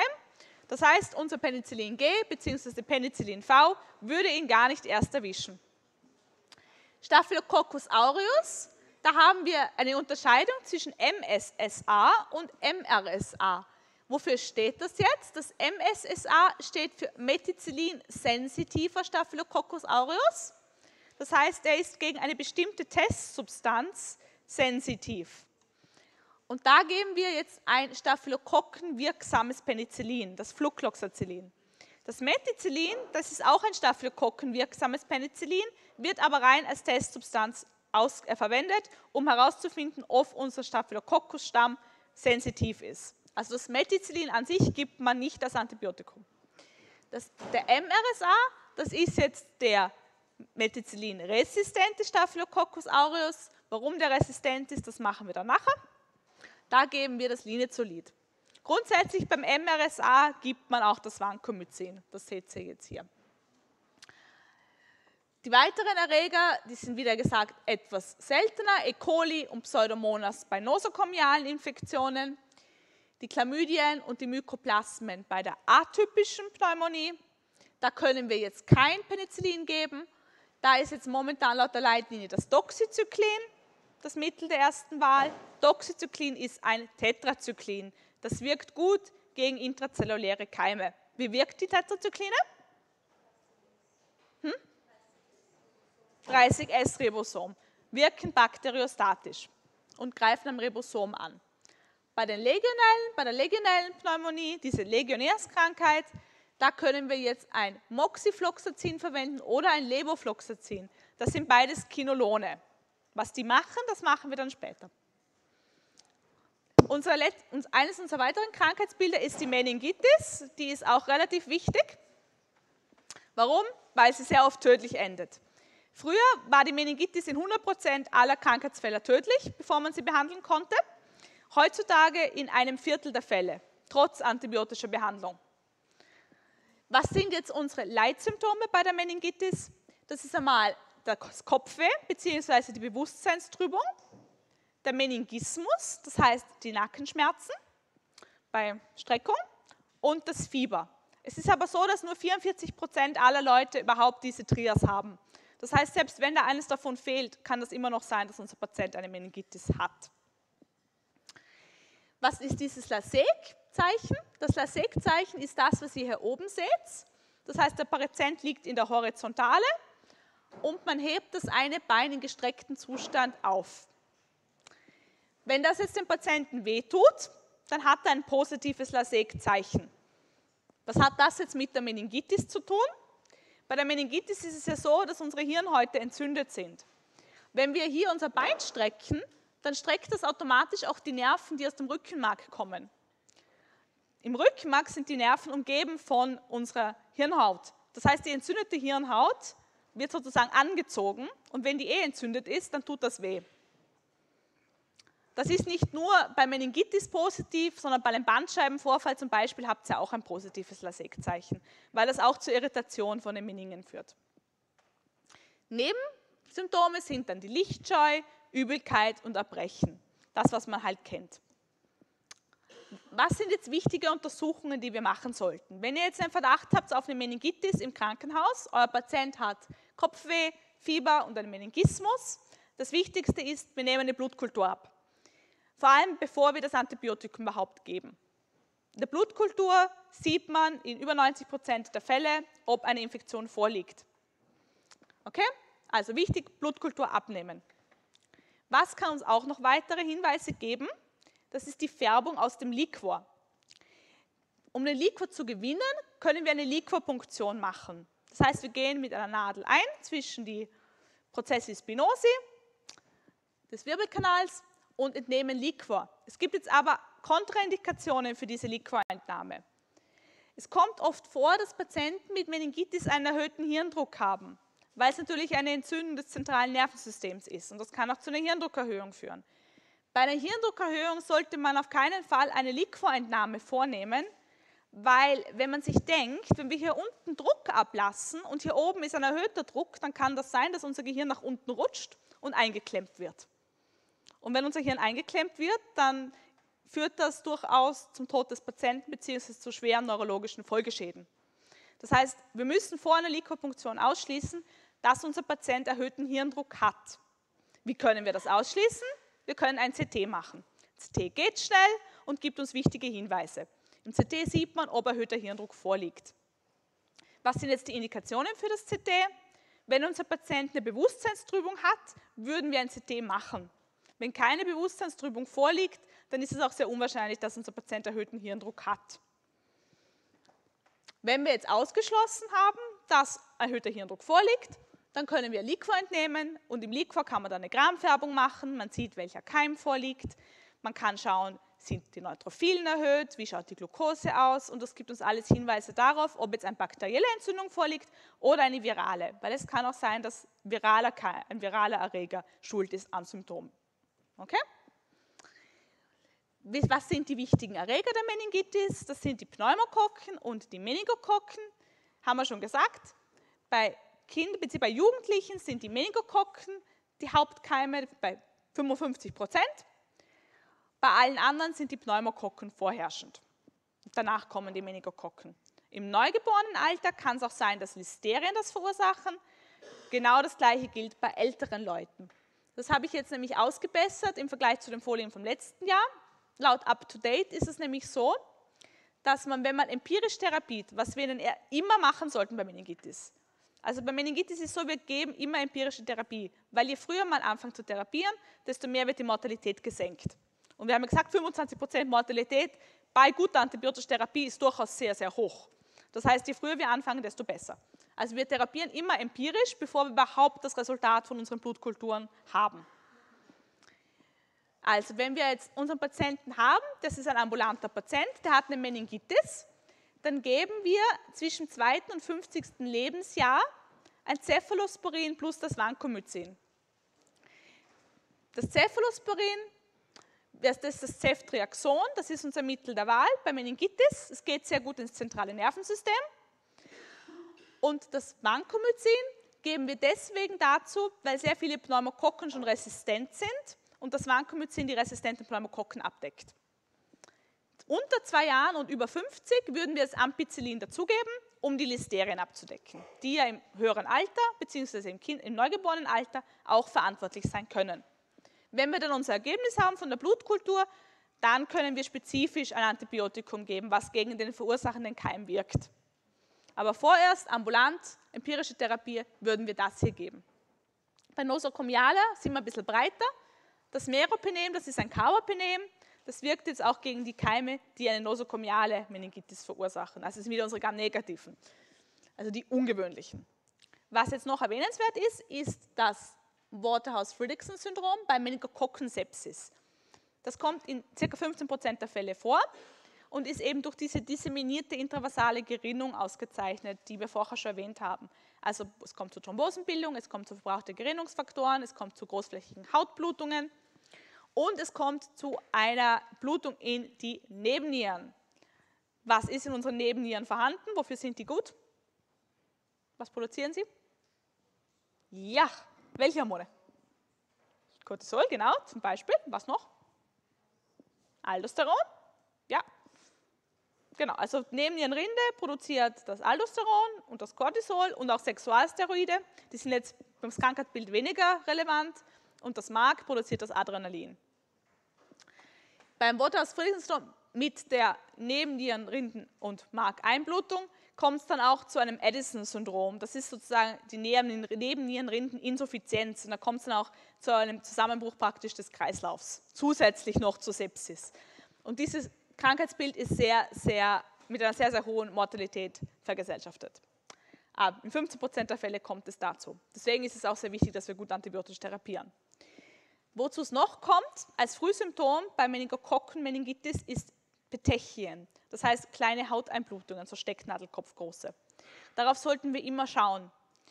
Vor allem deswegen, weil sich die Meningokokken-Meningitis sehr, sehr schnell entwickelt, innerhalb von Stunden. Also mir hat man da von einem Fall erzählt auf der Pädiatrie. Das Kind kam ins Krankenhaus und innerhalb von drei Stunden war es auf der Intensiv. Am Anfang war fast kein Symptom vorhanden. Und man sollte immer genau nach diesen Petechien Ausschau halten. Die können auch auf der Fußsohle sein und sonst nirgends. Das ist eines von den Frühsymptomen. In 50 Prozent der Fälle haben wir Petechien. Das heißt noch lange nicht, dass sie eine Sepsis haben, aber die Petechien sind sehr oft vorhanden. Das ist eines von diesen Warnsymptomen. Gut, das ist nochmal aufgelistet, die Verursacher, verursachenden Keime der Meningitis. Bei Neugeborenen haben wir gesagt, die Streptokokken der Gruppe B. Das sind die beta-hämolysierenden Streptococcus agalactiae. Wir machen das Screening bei Infektion, Prophylaxe während Geburt. Die Listerien, Listerien werden abgedeckt durch das Ampicillin, haben wir vorher gesagt. Und der E. coli, der kann auch eine neugeborene Meningitis machen, weil er eben auch das Vaginalgebiet besiedelt. Bei Kindern und Jugendlichen Neisseria meningitidis und Streptococcus pneumoniae und bei Erwachsenen wieder Neisseria meningitidis und Streptococcus pneumoniae. Okay? Also das sind unsere zwei Hauptkeime.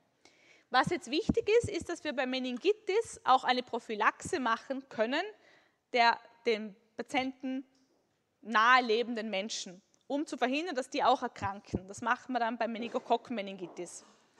Zur Meningitis-Prophylaxe gibt es drei Medikamente.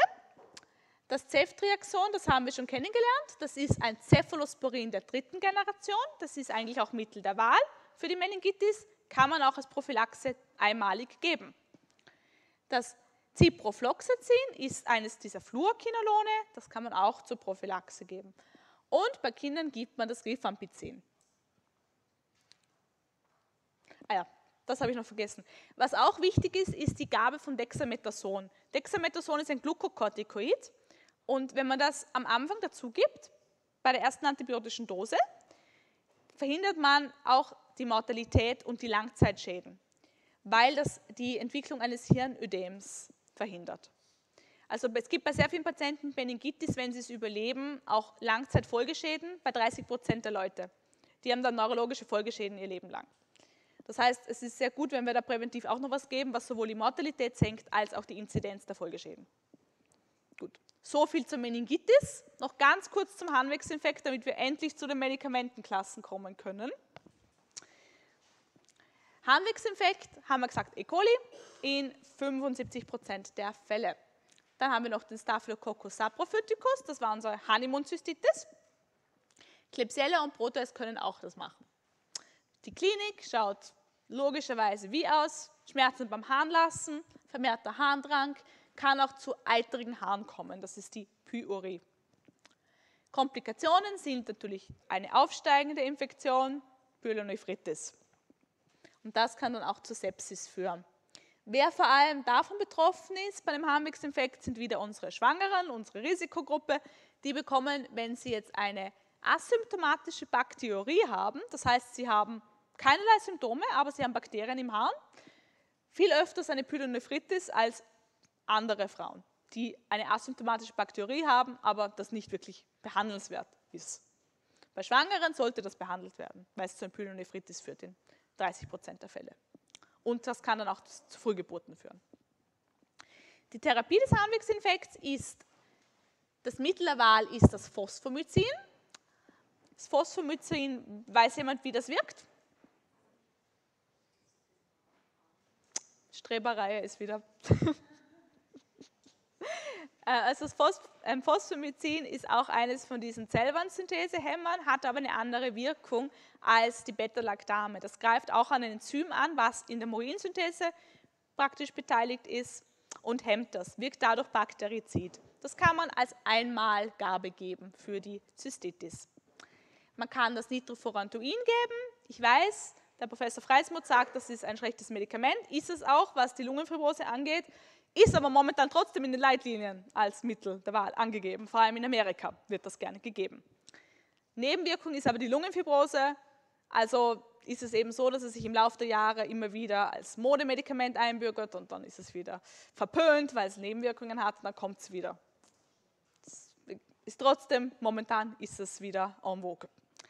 Das Pivmetzidinam ist jetzt ein Aminopenicillin. Das wird vor allem in Europa, in den nordischen Ländern sehr gerne gegeben, wirkt sehr gut gegen gramnegative Keime, also die hier, und ist sehr gut beim Harnwegsinfekt. Wird sonst eigentlich nicht eingesetzt, aber beim Harnwegsinfekt ist es top. Das Trimetoprim kann man auch geben. Trimetoprim wird normalerweise in Kombination mit Sulfonamiden gegeben, kann man aber auch als Monotherapie geben beim Harnwegsinfekt. Bei der Pyelonephritis würden wir jetzt auf etwas zugreifen, was ein bisschen stärker wirkt. Das heißt, wir nehmen ein Fluorkinolon und das gibt man dann natürlich auch länger, also sieben bis zehn Tage. Gut, Schwangerschaft müssen wir jetzt nicht unbedingt durchgehen. Ist nicht so wichtig für euch. Dann ist noch wichtig die Urethritis und die Cervicitis, also eine sexuell übertragbare Krankheit. Da haben wir unsere zwei Erreger, leicht zu merken, Neisseria gonorrhoe und die Chlamydien. Warum ist das jetzt wichtig? Es ist wichtig, weil es sehr oft asymptomatisch ist. Bei Frauen noch viel häufiger als bei Männern. Bei Frauen ist die Gonorrhoe in bis zu 50 Prozent der Fälle asymptomatisch und die Chlamydien sogar in 80 bis 90 Prozent. Warum ist das jetzt ein Problem? Nicht nur, weil sie andere Leute infizieren, sondern auch deswegen, weil es zur Sterilität führen kann. Also bei Chlamydien sind sehr oft beteiligt bei einer Sterilität bei Frauen. Die wissen nicht, dass sie Chlamydien haben. Es kommt zu einer Entzündung der Tuben, die verkleben und dann bekommen sie keine Kinder. Und dann gehen sie zum Frauenarzt und fragen sich, warum bin ich steril? Chlamydien. Also immer auf Chlamydien testen.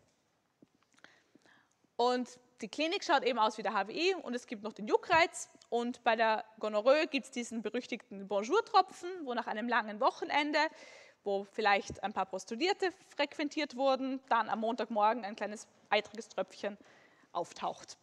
Und das ist dann das erste Zeichen der Gonokokken. Chlamydien können auch noch andere Krankheiten verursachen. Das Trachom ist eine Infektion des Auges. Das ist vor allem in Afrika endemisch. Das kriegen viele Kinder in Afrika.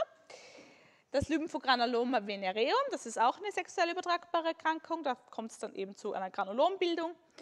Und die Konjunktivitis bei Neugeborenen, da wird das eben auch beim Geburtsvorgang auf das Neugeborene übertragen und das führt dann zu einer Einschusskörperkonjunktivitis des Auges. Da gibt man prophylaktisch dann antibiotische Augentropfen. Die Therapie der Gonokokken ist relativ easy. Man gibt das Ceftriaxon. Was ist das Ceftriaxon? Ja, dritte Generation Cephalosporin. Bei welcher Erkrankung haben wir es vorher gerade angewendet? Meningitis. Warum gibt man es gern bei Meningitis? Genau, das gut ZNS-gängig. Sehr gut. Und dann geben wir noch das Azithromycin in Kombination. Was ist das Azithromycin? Ihr dürft nichts mehr sagen. Ja, sehr gut. Makrolid. Was zeichnet das Azithromycin aus? Ja, und noch was? Ja, Verteilungsvolumen ist groß, Halbwertszeit ist lang. Sehr gut. Du darfst einfach rausschreien, weil ich, ich schaue nicht immer überall hin. Also kann man Single Dose geben und natürlich Partner mit behandeln. Die Therapie der Chlamydien ist das Doxycyclin, also wieder ein Tetrazyklin, oder auch das Azithromycin Single Dose. Also relativ easy. Dann unser letztes Krankheitsbild ist die Endokarditis, haben wir vorher schon erwähnt, ausgelöst eben durch Staphylokokken, Streptokokken, die Viridansgruppe, die Karies machen, deswegen geben wir Prophylaxe, das Clindamycin und eben auch die Enterokokken. Welche Leute sind jetzt prädisponiert für eine Endokarditis? Leute mit Herzklappenproblemen, also zum Beispiel Leute, die ein rheumatisches Fieber hatten und dadurch Herzklappenprobleme bekommen haben. Die kriegen eher eine Endokarditis. Wieso? weil die Strömungsverhältnisse um die Herzklappen sich bei einer Herzklappenerkrankung natürlich so verändern, dass sich Bakterien leichter absiedeln können. IV-Drogenabusus deswegen, weil wir Keime auf der Haut haben und wenn man sich ständig was reinschießt und nicht desinfiziert, dann kann das in die Blutbahn gelangen und dann setzt sich das auch sehr gerne auf den Herzklappen fest. Die Klinik schaut wie aus? Die Patienten haben Fieber, Nachtschweiß und Gewichtsverlust. Das ist auch als B-Symptomatik bekannt. Das haben wir bei zwei anderen Erkrankungen auch noch. Wer mag sie rausschreien? Wer weiß sie beziehungsweise? Ja, sehr gut. Tuberkulose? Ja, wunderbar. Sehr gut. Also Tuberkulose, Lymphom und Endokarditis machen alle Fieber, Nachtschweiß und Gewichtsverlust. Dann können wir natürlich auch ein Herzgeräusch hören. Und es kann zu einer septischen Embolie kommen. Was ist eine septische Embolie? Also wenn wir jetzt eine Endokarditis haben, dann haben wir auf der Herzklappe, hier sieht man es im Echo, so eine flottierende Auflagerung. Also wenn man das dann in Bewegung sieht, dann ist das wirklich so, dass das hin und her flappt. So. Und das ist natürlich in Strömung. Das heißt, es können auch kleine Stücke abreißen. Wenn jetzt in unserem linken Herzen ein Stück abreißt, dann kommt das über die Aorta in den Körperkreislauf und kann stecken bleiben in den Arterien. Am schlimmsten ist es natürlich, wenn es jetzt im Gehirn stecken bleibt, weil dann bekommt unser Patient einen Schlaganfall. Das kann jetzt sowohl dazu führen, dass es eine kurzzeitige neurologische Beeinträchtigung gibt, als auch Abszessbildung im Gehirn oder in anderen Organen, weil sich diese septischen Emboli eben, die haben immer noch bakterielles Saatgut sozusagen, das heißt, das kann sich in den ganzen Körper ausbreiten. Die Oslerknötchen, Janeway-Läsionen und Splinterhämorrhagien sind Symptome an den Händen. Das heißt, es können sich so kleine Mikroembolien bilden, der Kapillaren. Da bilden sich Knötchen und so kleine Einblutungen unterm Nagelbett. Das sind die Splinterhämorrhagien. Das sind Zeichen, die man praktisch verwenden kann, um eine Endokarditis zu diagnostizieren. Wichtig ist für uns aber, dass wir die prädisponierenden Faktoren kennen und dass wir wissen, wir machen ein Echo, wenn wir das vermuten. Im Echo sieht man diesen septischen Embolus eigentlich sehr gut, diese Auflagerung. Die Therapie ist jetzt ein bisschen anders, weil wir hier ein Aminoglykosid sehr gerne kombinieren. Die Frage ist, wieso kombinieren wir Aminoglycoside? Es ist so, dass die Bakterien auf der Herzklappe viel langsamer wachsen als normalerweise. Das heißt, unsere Beta-Lactame wirken einfach nicht so gut. Wenn wir das jetzt aber kombinieren mit einem Aminoglykosid, die schauen wir uns nachher genauer an, dann kommt es zu einer guten bakteriziden Wirkung. Und dann kommt es auch zur Beseitigung des Keims.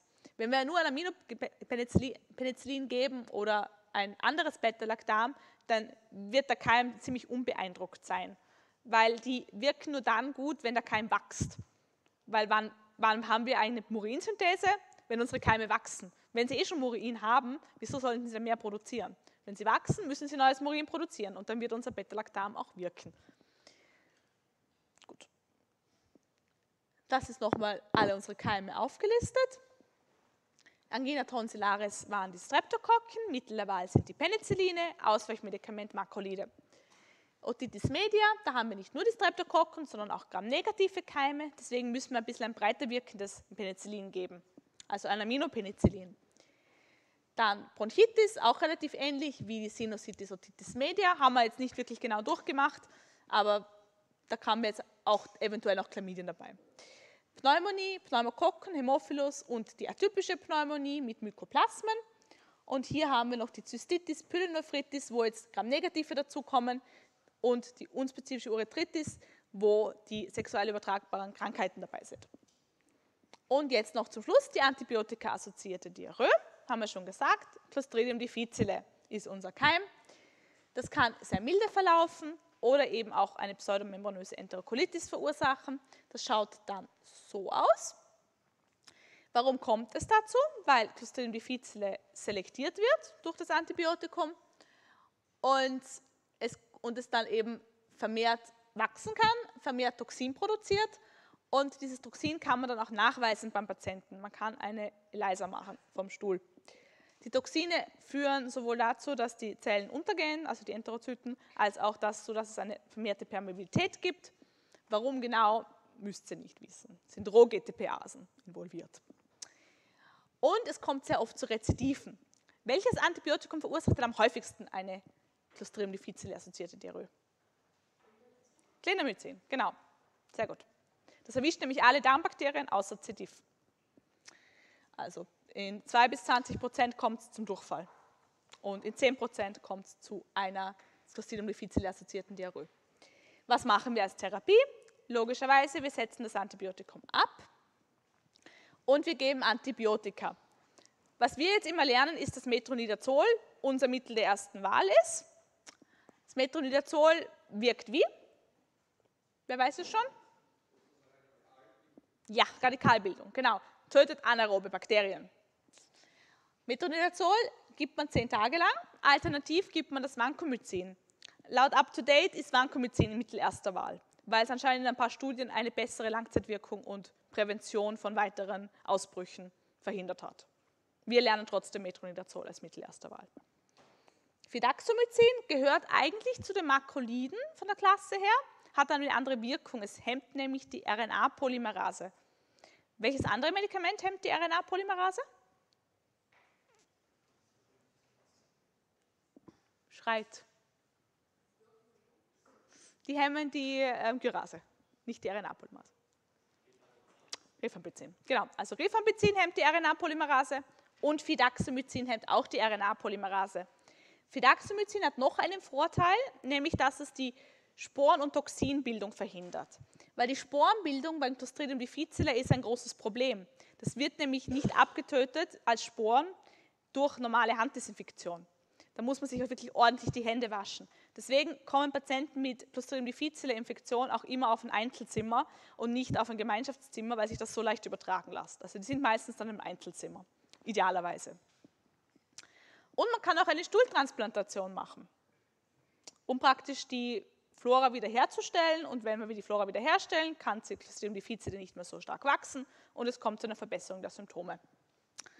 Und es gibt auch noch einen monoklonalen Antikörper gegen das Toxin, aber das ist mehr ein cooler Fakt als eine wirkliche Therapie. Bezlotoximab heißt das, aber es ist jetzt überdeckt vom Bild. Aber ihr müsst es eh nicht wissen. Gut, jetzt kommen wir endlich zu den Angriffspunkten.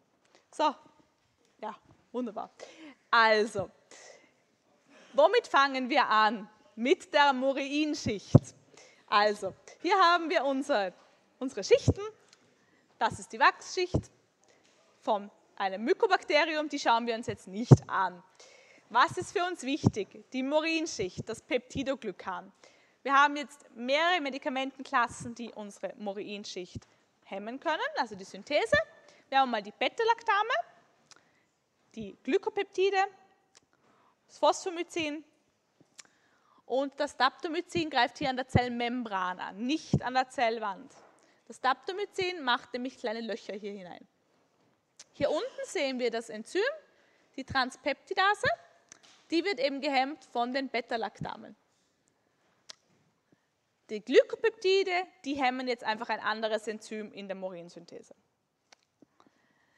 Dann, wenn wir weiter nach innen gehen, dann können wir am Ribosom auch ansetzen. Da gibt es wieder unterschiedliche Medikamente, die das können. Also die Aminoglycoside, die Makrolide. Ich muss es euch jetzt nicht alles sagen, weil ihr könnt es ja selber lesen. Also die hier greifen alle am Ribosom an. Dann können wir auch eingreifen in die Gyrase. Was ist diese Gyrase? Eins oder zwei oder vier? Sehr gut. Was macht die? Ja. Genau, also die Gyrase verhindert die negative, also die Hyperspiralisierung der DNA, weil unsere Bakterien müssen ja DNA replizieren, wenn sie sich teilen wollen. Und da entstehen Spannungen auf der DNA, die entwunden werden müssen. Und dazu gibt es ein Enzym, das heißt Gyrase, das erzeugt praktisch eine Gegenspiralisierung der DNA, damit sie geteilt werden kann. Es gibt zwei verschiedene, die durch die Fluorquinolone gehemmt werden. Die Topoisomerase 2, die nennt man auch Gyrase, und die Topoisomerase 4. Die werden beide dadurch gehemmt. Dann können wir auch die Folsäuresynthese beeinflussen. Das machen die Sulfonamide und das Trimetoprim. Bakterien sind nämlich auf die eigene Folsäuresynthese angewiesen. Wir sind auf die Bakterien angewiesen. Wir können nämlich nicht selber Folsäure synthetisieren. Also wir bekommen unsere Folsäure über die Nahrung, über die Bakterien, die auf unserem Essen sitzen sozusagen. Und die RNA-Polymerase, haben wir schon gesagt, das Rifampicin und das Fidaxomycin hemmen die RNA-Polymerase. Und hier, die chromosomale DNA wird geschädigt über das Metronidazol. Hier haben wir nochmal die ganzen Angriffspunkte aufgelistet. Jetzt haben wir eine wichtige Unterscheidung, nämlich zwischen bakteriostatisch und bakterizid. Was ist jetzt der Unterschied? Bei einer bakteriziden Wirkung tötet das Antibiotikum das Bakterium. Was passiert jetzt, wenn wir ein bakteriostatisches Antibiotikum nehmen? Wir hören ja irgendwann mal auf mit der Gabe des Antibiotikums. Ist der Keim dann immer noch da? Was passiert?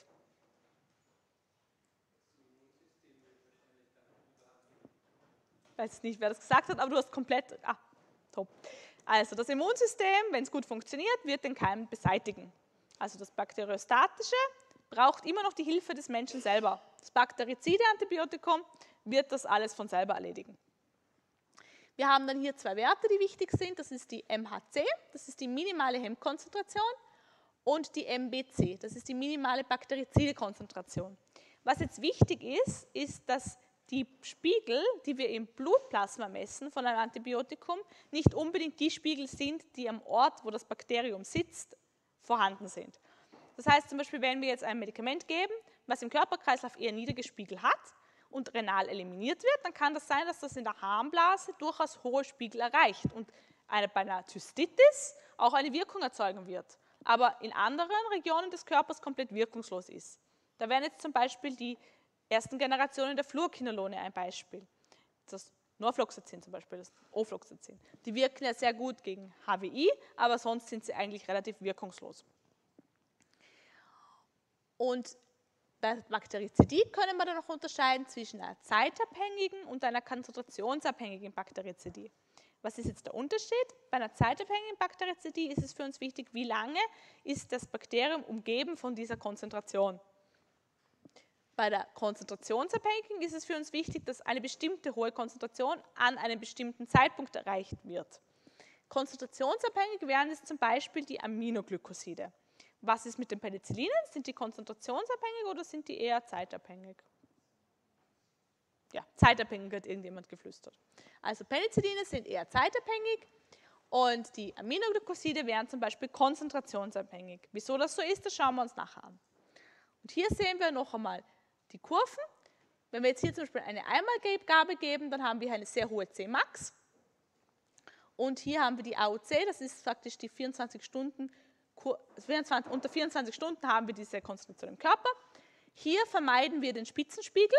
Zum Beispiel kann es sein, dass bei, bei dieser Cmax Nebenwirkungen im Körper auftreten würden.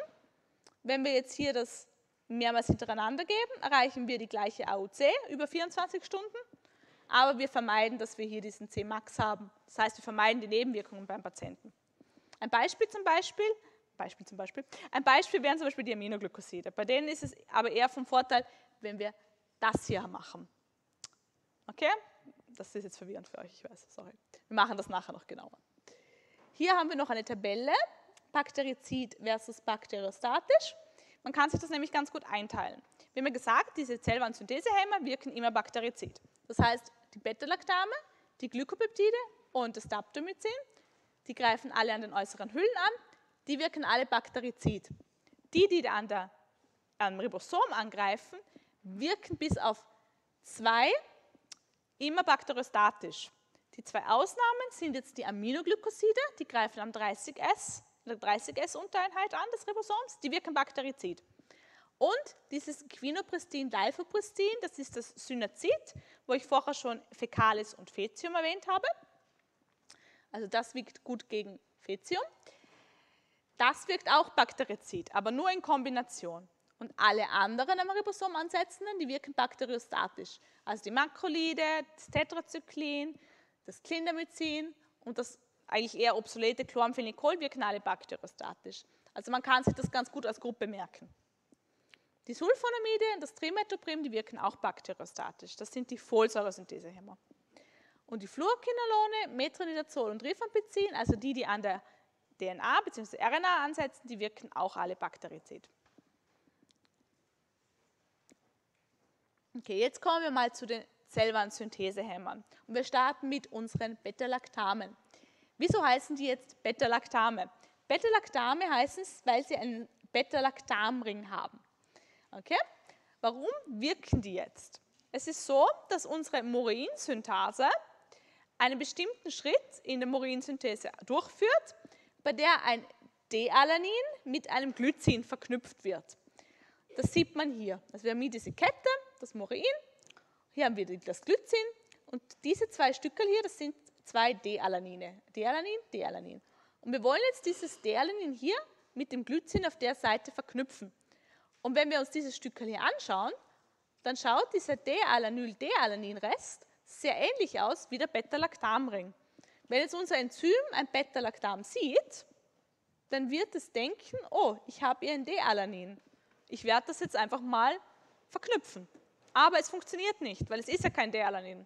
Aber das Enzym weiß das nicht. Das heißt, es wird gehemmt. Hier sehen wir das Penicillin. Also das Penicillin schaut relativ ähnlich aus wie das D-Alanin. D-Alanin und der Beta-Lactamring, den sieht man hier im Penicillin auch ganz gut. Deswegen heißen die alle Beta-Lactame, weil sie alle eigentlich die gleiche Wirkung haben, nämlich das, dass sie so ähnlich ausschauen wie ein D-Alanin, D-Alanin. Sie haben auch viele Gemeinsamkeiten. Sie haben nämlich alle eine relativ kurze Halbwertszeit von einer halben Stunde bis zu einer Stunde. Da gibt es eine Ausnahme. Wer weiß die Ausnahme? Ja. Wie viele Stunden? Ja, weiß nicht, wer es war. Es gibt noch eine zweite Ausnahme. Ja, wie viel hat Erdbeeren? Vier, sehr gut. Und sie werden alle renal eliminiert. Da gibt es auch wieder eine Ausnahme. Ja, Ceftriaxon wird nämlich hepatisch eliminiert. Also Ceftriaxon kann man sich sehr gut merken, weil es zwei Ausnahmefälle hat. Lange Halbwertszeit und es wird hepatisch eliminiert. Und sie wirken alle bakterizid. Alles klasse. Das Penicillin G, das ist sozusagen unser Standardpenicillin. Das nennt man auch Benzylpenicillin und wurde entdeckt von Alexander Fleming im Jahre 1928. Der hat nämlich zufällig eine Petrischale beim offenen Fenster stehen lassen und ihm ist aufgefallen, dass seine Bakterien nicht mehr wachsen. Und dann hat er gesehen, oh, ein Pilz wächst in meiner Petrischale. Und das war das Penicillium notatum. Und so ist man dann draufgekommen, dass Penicillin eben gegen Bakterien wirkt. Das hat auch ein paar Jahre gedauert, bis das dann synthetisiert wurde. Angefangen habe mit der Synthese dann während dem Zweiten Weltkrieg, weil da ist ein sehr großer Bedarf entstanden, weil viele Leute an Wundinfektionen erkrankt sind.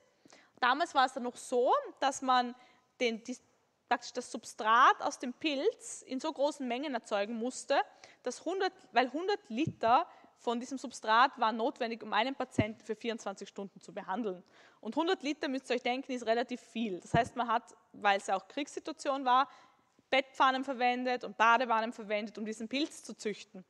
Und weil der Bedarf so groß war, hat man den, das Penicillin auch aus dem Urin der Patienten, die behandelt worden waren, rauskristallisiert wieder. Also der, beim ersten Patienten, das war ein, ein Polizist aus London, da hat man seinen Urin dann wiederverwendet, um wieder Penicillin zu gewinnen.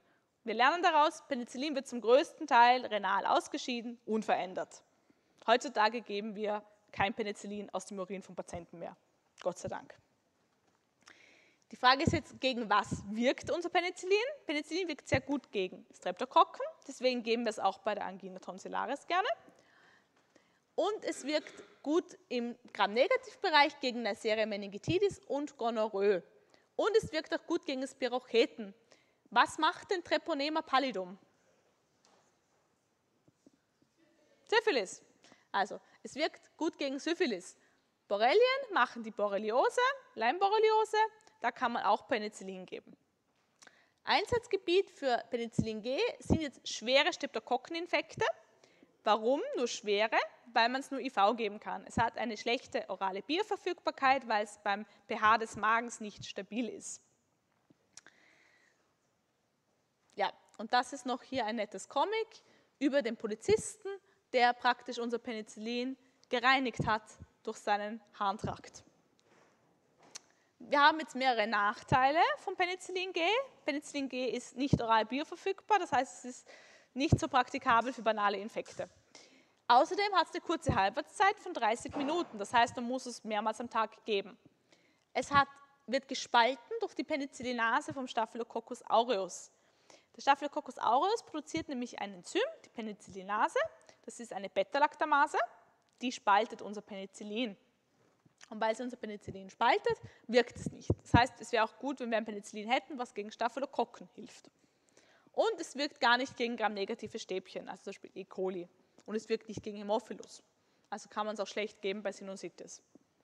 Die erste Entwicklung war jetzt das Penicillin V. Das Penicillin V ist deswegen eine Verbesserung, weil man es auch oral geben kann. Vom Spektrum her entspricht es ungefähr dem Penicillin G. Also es wirkt wieder gut bei Streptokokkeninfekten. Deswegen ist es unser Mittel der Wahl bei Angina tonsillaris. Haben wir vorher schon gesagt, ist eine Leitlinie das Mittel der Wahl bei Angina tonsillaris. Und dann gibt es auch noch die Depotpenicilline. Was heißt Depotpenicillin? Das heißt, es ist gekoppelt an eine andere Substanz, in diesem Fall Benzatin oder Procain. Procain ist ein Lokalanästhetikum. Und das wird intramuskulär gespritzt und bildet dort ein Depot. Das heißt, diese, dieses Medikament wird dann über einen bestimmten Zeitraum langsam freigesetzt in den Blutkreislauf und er, und er hat dann sehr langfristige, eher niedrige Spiegel. Also es erreicht natürlich nicht die Spiegel, die du bekommen würdest, wenn du IV Penicillin G gibst, aber es hat niedrige Spiegel über einen langen Zeitraum hinweg und das reicht für die Behandlung mancher Infekte aus. Beispiel wäre da die Syphilis. Syphilis ist relativ leicht zu behandeln in den Frühstadien. Man gibt 2,4 internationale Einheiten vom Benzatin, Penicillin und das war's. Damit hat sich die Behandlung erledigt. Das ist sehr praktisch, weil bei vielen Patienten, die du im Krankenhaus hast, bist du dir nicht ganz sicher, ob die auch wirklich die Medikamente regulär einnehmen würden. Die kann man sehr leicht mit einer intramuskulären Injektion behandeln und dann schickt man sie heim und man weiß, sie werden nicht weiter die Infektion verbreiten. Und man verwendet es als Rezidivprophylaxe für das rheumatische Fieber. Wir haben vorhin schon gesagt, rheumatisches Fieber macht oft diese Herzklagenerkrankungen.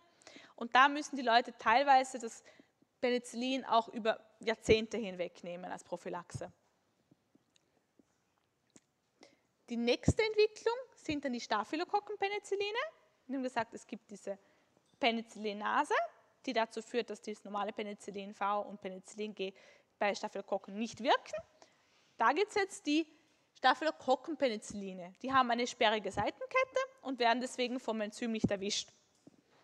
Das sind unsere Vertreter, Oxacillin, Fluxoxacillin und Dicloxacillin. Und die sind eben stabil gegen die Penicillinase vom Staphylococcus aureus. Frage ist jetzt, würden wir das jetzt geben bei einem Infekt, wo ein anderer Keim beteiligt ist? Nein. Wir geben die rein bei Staphylokokkeninfekten, weil sie gegen die anderen Bakterien weniger wirksam sind. Also die wirklich nur bei Staphylokokkeninfekten geben. Deswegen heißen sie auch Staphylokokkenpenicilline. Eine von den Nebenwirkungen ist die Hepatotoxizität. Das ist anscheinend über das Immunsystem mediiert. Das ist eine Art von allergischer Reaktion, die dann auch zu Leberschäden führen kann, aber eine sehr seltene Nebenwirkung. Und dann haben wir hier den vorher schon erwähnten MRSA. MRSA stand ja für Methicillin-resistenter Staphylococcus aureus und das Methicillin ist auch ein Staphylokokkenpenicillin, was eben als Testsubstanz im Labor angewendet wird, um herauszufinden, ob unser Keim resistent oder sensitiv ist gegen diese Medikamentengruppe. Wie schaut das jetzt aus? Wieso ist der resistent? Also es ist so, dass unser Angriffspunkt ja dieses, diese Murinsynthase ist. Diese Murinsynthase kennen wir auch unter dem Namen Penicillin-bindendes Protein, weil Penicillin daran bindet. Also es ist ein logischer Name. Dafür steht dieses PBP, Penicillin Binding Protein. Bei MRSA ist das Penicillin-bindende Protein jetzt so verändert, dass das Penicillin nicht mehr daran binden kann. Beziehungsweise das Methicillin kann nicht mehr daran binden. Das heißt, unser Staphylokokkenpenicillin ist jetzt wirklos, hat keine Wirkung mehr. Was können wir jetzt geben? Wir können Vancomycin geben. Vancomycin ist ein Glykopeptid, setzt dann einem anderen Enzym an und der Keim ist immer noch, äh, immer noch empfindlich darauf. Weil jetzt unsere Bakterien sehr schnell Resistenzen entwickeln, gibt es mittlerweile auch schon Vancomycin-resistente Staphylokokken. Da können wir jetzt auf ein anderes Medikament ausweichen, das Linezolid zum Beispiel oder das Tigecyclin, das gehört grob zu den Tetrazyklinen dazu, oder das Daptomycin. Wie schaut das jetzt aus mit diesen Penicillinasen und Beta-Lactamasen? Das ist ja alles relativ komplex. Also es gibt sowohl Penicillinasen, es gibt auch Beta-Lactamasen, die nicht nur bei den Penicillinen eine Resistenz vermitteln, sondern auch gegen die Cephalosporine. Dann gibt es wieder welche, die Extended Spectrum Beta-Lactamases sind. Da ist nicht nur so, dass es gegen die Beta-Lactame, also bei Penicillin und Cephalosporin Resistenzen gibt, sondern auch gegen das Aztreonam, was auch zu den Beta-Lactamen gehört. Und die einzigen Medikamente, die da noch wirken von den Beta-Lactamen, sind die Carbapeneme. Mittlerweile gibt es auch schon Keime, die gegen alles resistent sind. Da gibt es zum Beispiel diese Neu-Delhi Beta-Lactamase, die vor ein paar Jahren raufgekommen ist im Klebsiellenstamm und die ist gegen alles resistent bei den Beta-Lactamen. Da hilft da gar nichts mehr. Die MRGN, das sind jetzt, steht für Multi-Drug-Resistant Gram-Negative und die sind eben gegen die Penicilline, Cephalosporine, Carpeneme und die Fluorquinolone resistent. Und wie gesagt, je länger, länger wir mit Medikamenten behandeln, desto mehr Resistenzen gibt es gegen das Medikament. Deswegen müssen wir auch ständig nach neuen Antibiotika suchen, weil die Bakterien eben sehr gut darin sind, Resistenzen zu entwickeln. Ja. Okay. Wenn wir jetzt weitergehen, wir haben gesagt, Penicillin G wurde verbessert durch Penicillin V. Bei Penicillin V kann man oral geben. Penicillin G wurde verbessert im Staphylokokkenbereich durch die Staphylokokkenpenicilline, weil die sind resistent gegen die Penicillinase des Staphylococcus aureus. Wir haben aber immer noch nicht das Problem beseitigt, dass wir die gramnegativen Keime auch erwischen wollen. Und hier helfen uns die Aminopenicilline. Okay? Die Aminopenicilline sind nämlich ein bisschen hydrophiler und kommen leichter durch die gramnegativen Außenschicht durch. Das ist das Problem beim Penicillin G. Es kommt einfach nicht durch, durch die äußere Schicht der gramnegativen Bakterien. Die Aminopenicilline, die kommen durch. Da gibt es jetzt das Ampicillin, das gibt man IV, und das Amoxicillin, das gibt man oral. Die wirken jetzt nicht nur gegen die Streptokokken, sondern sie wirken auch gegen Haemophilus influenzae und Moraxella cataralis, E. coli, Proteus, die Listerien, Salmonellen und Shigellen.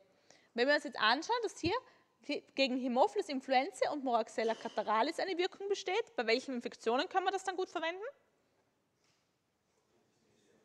Ja, Otitis media, Sinusitis. Wenn wir sehen E. coli und Proteus, was, wo wirkt es dann? HWI. Sehr gut.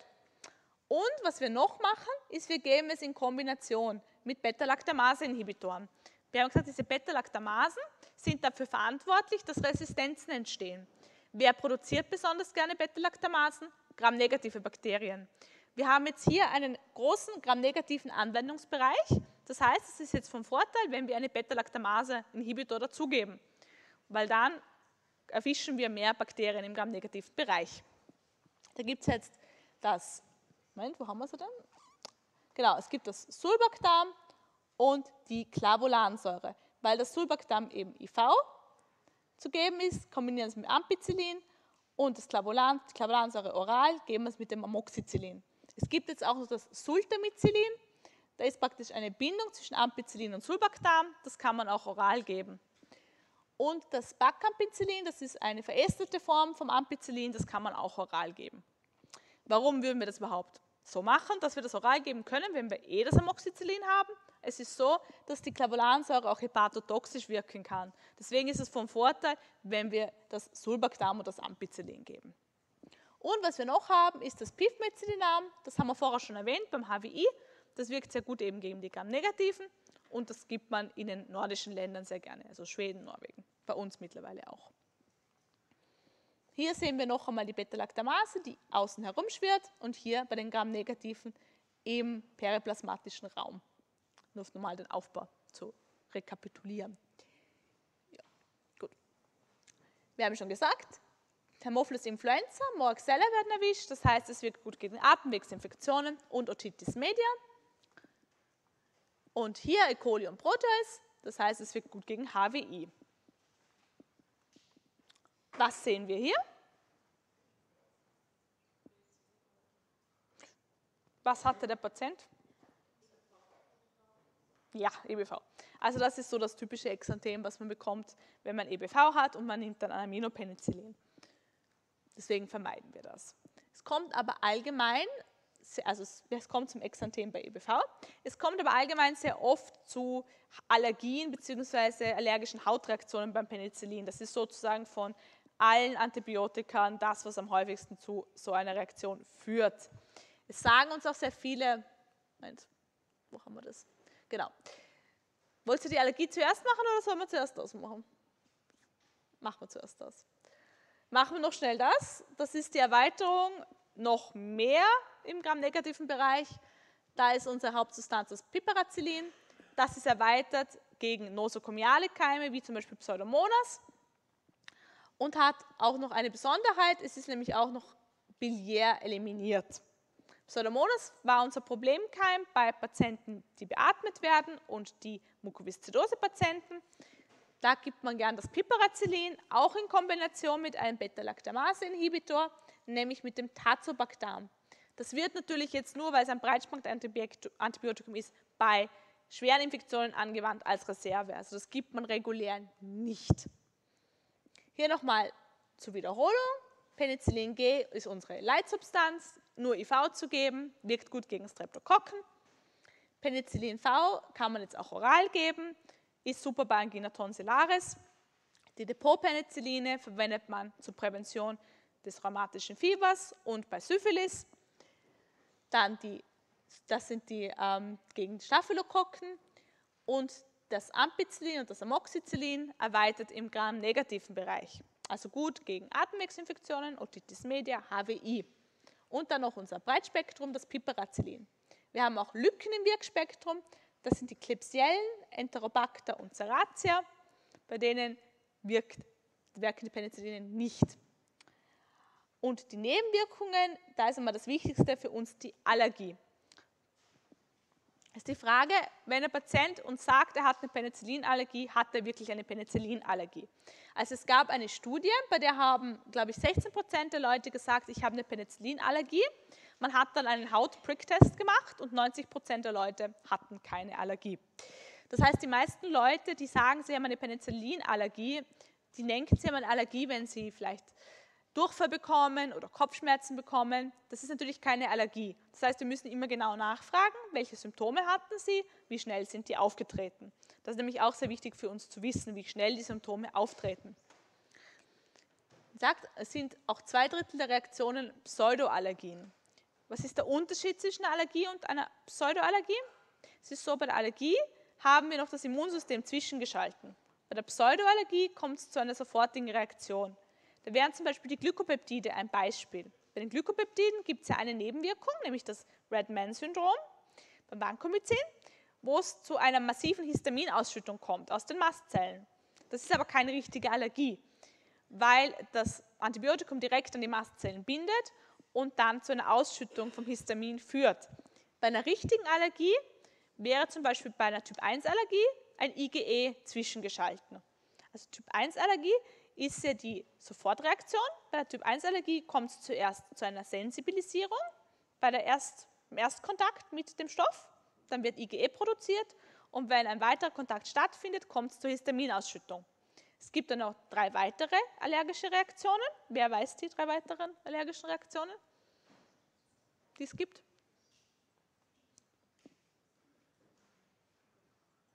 Nein, kein Problem. Also, Typ 2 ist die zytotoxische Reaktion. Bei der zytotoxischen Reaktion kommt es zu einer Bindung der IgG bzw. IgM an körpereigene Zellen und zur Destruktion der Zellen.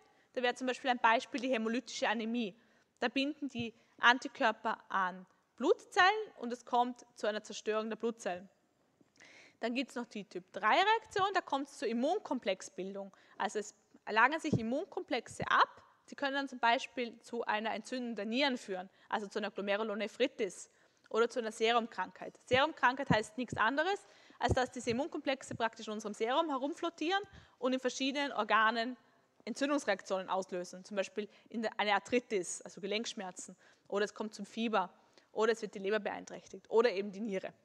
Und Typ 4-Reaktion ist die verzögerte Reaktion, die unterscheidet sich ein bisschen von den anderen dreien nämlich dadurch, dass T-Zellen die vermittelnden Zellen sind und die direkt dann praktisch interagieren. Also, es ist eben ein Unterschied zwischen Allergie und einer Pseudoallergie. Die Allergien sind diese vier Formen. Am gefährlichsten ist die Sofortreaktion, weil die Sofortreaktion, Typ 1 Allergie, auch zu Anaphylaxis führen kann. Und die Anaphylaxis ist natürlich sehr gefürchtet, weil sie auch tödlich sein kann. Also wenn jemand uns erzählt, ich hatte eine Allergie, ich war auf der Intensivstation, dann ist es ganz klar für uns, nein, wir geben nicht nochmal ein Penicillin, weil diese Person hat einen anaphylaktischen Schock erlitten. Also man muss da halt sehr differenziert vorgehen. Was auch wichtig ist für uns, ist, dass Kreuzreaktionen vorliegen. Also wenn jetzt jemand eine anaphylaktische Reaktion hat auf Penicillin, dann ist in 5% der Fälle auch eine Kreuzreaktion vorhanden auf Cephalosporine. Wieso kommt es jetzt dazu, dass überhaupt eine Allergie besteht auf Penicillin? Es ist so, dass es nicht direkt eine Allergie ist auf das Penicillin, sondern eher auf seine Metaboliten. Also die Metaboliten vom Penicillin sind ein bisschen instabil, weil sie diesen Beta-Lactam-Ring haben. Und der geht recht leicht auf und geht halt komplexer dann ein mit körpereigenen Proteinen. Und das bildet dann ein Hapten. Ein Hapten ist nichts anderes als ein Stoff, der mit dem Immunsystem reagiert und dann praktisch eine Antikörperproduktion auslöst. Also die Metaboliten vom Penicillin zum Beispiel führen dazu, dass sich Haptene bilden, also Verbindungen zwischen dem Penicillin-Metabolit und körpereigenen Proteinen. Die führen dann zu einer Antikörperproduktion und im weiteren Verlauf dann zur Allergie. Und in 5% der Fälle besteht dann eben auch eine Kreuzallergie mit den Cephalosporinen. Das heißt, wir müssen da aufpassen.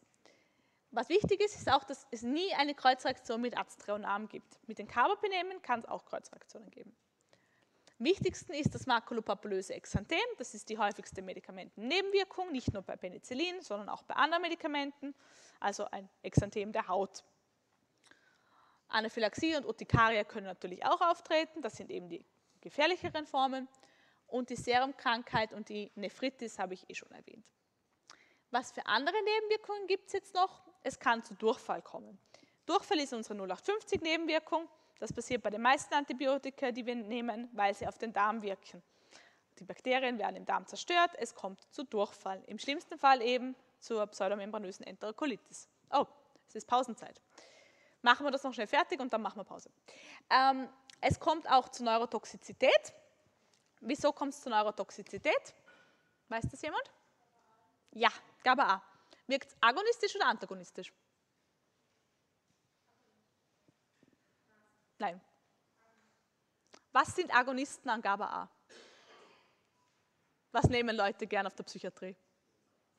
Benzos. Also Benzos sind, wirken agonistisch auf GABA. Benzos wirken auch krampflösend. Benzos sind Therapie bei einem Status Epilepticus. Was passiert hier bei der Neurotoxizität? Die Patienten krampfen. Das heißt, es wirkt als GABA-A-Antagonist. Deswegen dürfen wir Penicillin auch nicht direkt in das Rückenmark, in, die, also in den Liquor geben. Also intrathekale Gabe von Penicillin ist kontraindiziert, weil das zu Krampfanfällen führen kann. Es kann auch zu Elektrolytverschiebungen kommen, nämlich zur Hypokaliämie. Und es kann zu Hämostasestörungen kommen, weil die Bakterien im Darm, die das Vitamin K produzieren, durch die späteren Generationen der Penicilline auch gehemmt werden. Und deswegen haben wir weniger Vitamin K, daher haben wir Gerinnungsstörungen. Dann gehen wir weiter zu den Cephalosporinen in fünf Minuten.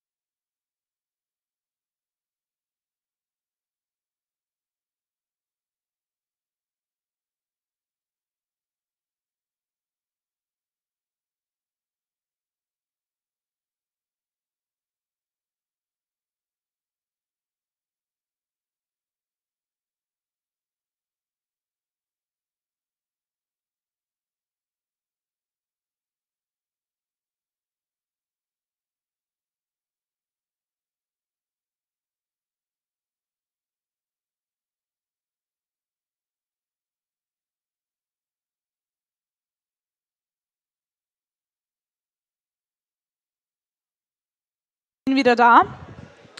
Also ich wurde gefragt, wie lange wir heute noch machen und ich würde noch eine Stunde machen, weil ich bin geistig dann, glaube ich, nach einer Stunde nicht mehr so wirklich da und ihr wahrscheinlich auch nicht. Und morgen werden wir dann einfach weitermachen. Sind damit alle einverstanden? Ja, wunderbar. Es wäre eh egal, wenn ihr Nein sagt, weil wenn ich nicht mehr reden kann. Also, wir haben die Penicilline abgehakt. Jetzt gehen wir weiter zu den Cephalosporinen. Cephalosporine haben jetzt auch unterschiedliche Generationen. Man teilt sie in unterschiedlichen Büchern unterschiedlich ein. Das finden viele Studenten sehr verwirrend. Und es ist nicht so, dass es eine richtige Einteilung gibt und eine falsche Einteilung. Wenn ihr ein Buch lernt und ihr sagt, ich habe das aus dem Actoris gelernt, da steht das so drinnen, dann ist das nicht falsch. Okay, das kann euch niemand vorwerfen. Also lernt ihr einfach eine Einteilung und lernt es vielleicht eher mehr so, dass ihr eine Substanz aus jeder Generation kennt und ungefähr wisst, was ist der Vorteil, bei welchen Keimen kann ich das verwenden. Hier haben wir nochmal die Kreuzallergie mit Penicillinen in 5% der Fälle. Und so wie bei den Penicillinen haben wir auch hier eine Wirkspektrumslücke.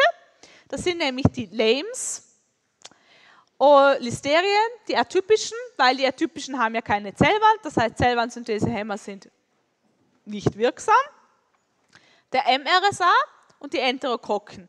Wobei man sagen muss, MRSA wird von den späteren Generationen der Cephalosporine jetzt mittlerweile eher erfasst. Also das bezieht sich jetzt eher auf die frühen Generationen der Cephalosporine. Die Cephalosporine der ersten Generation, da gibt es eben das Cephalexin, das Cefazolin und das Cefaclor.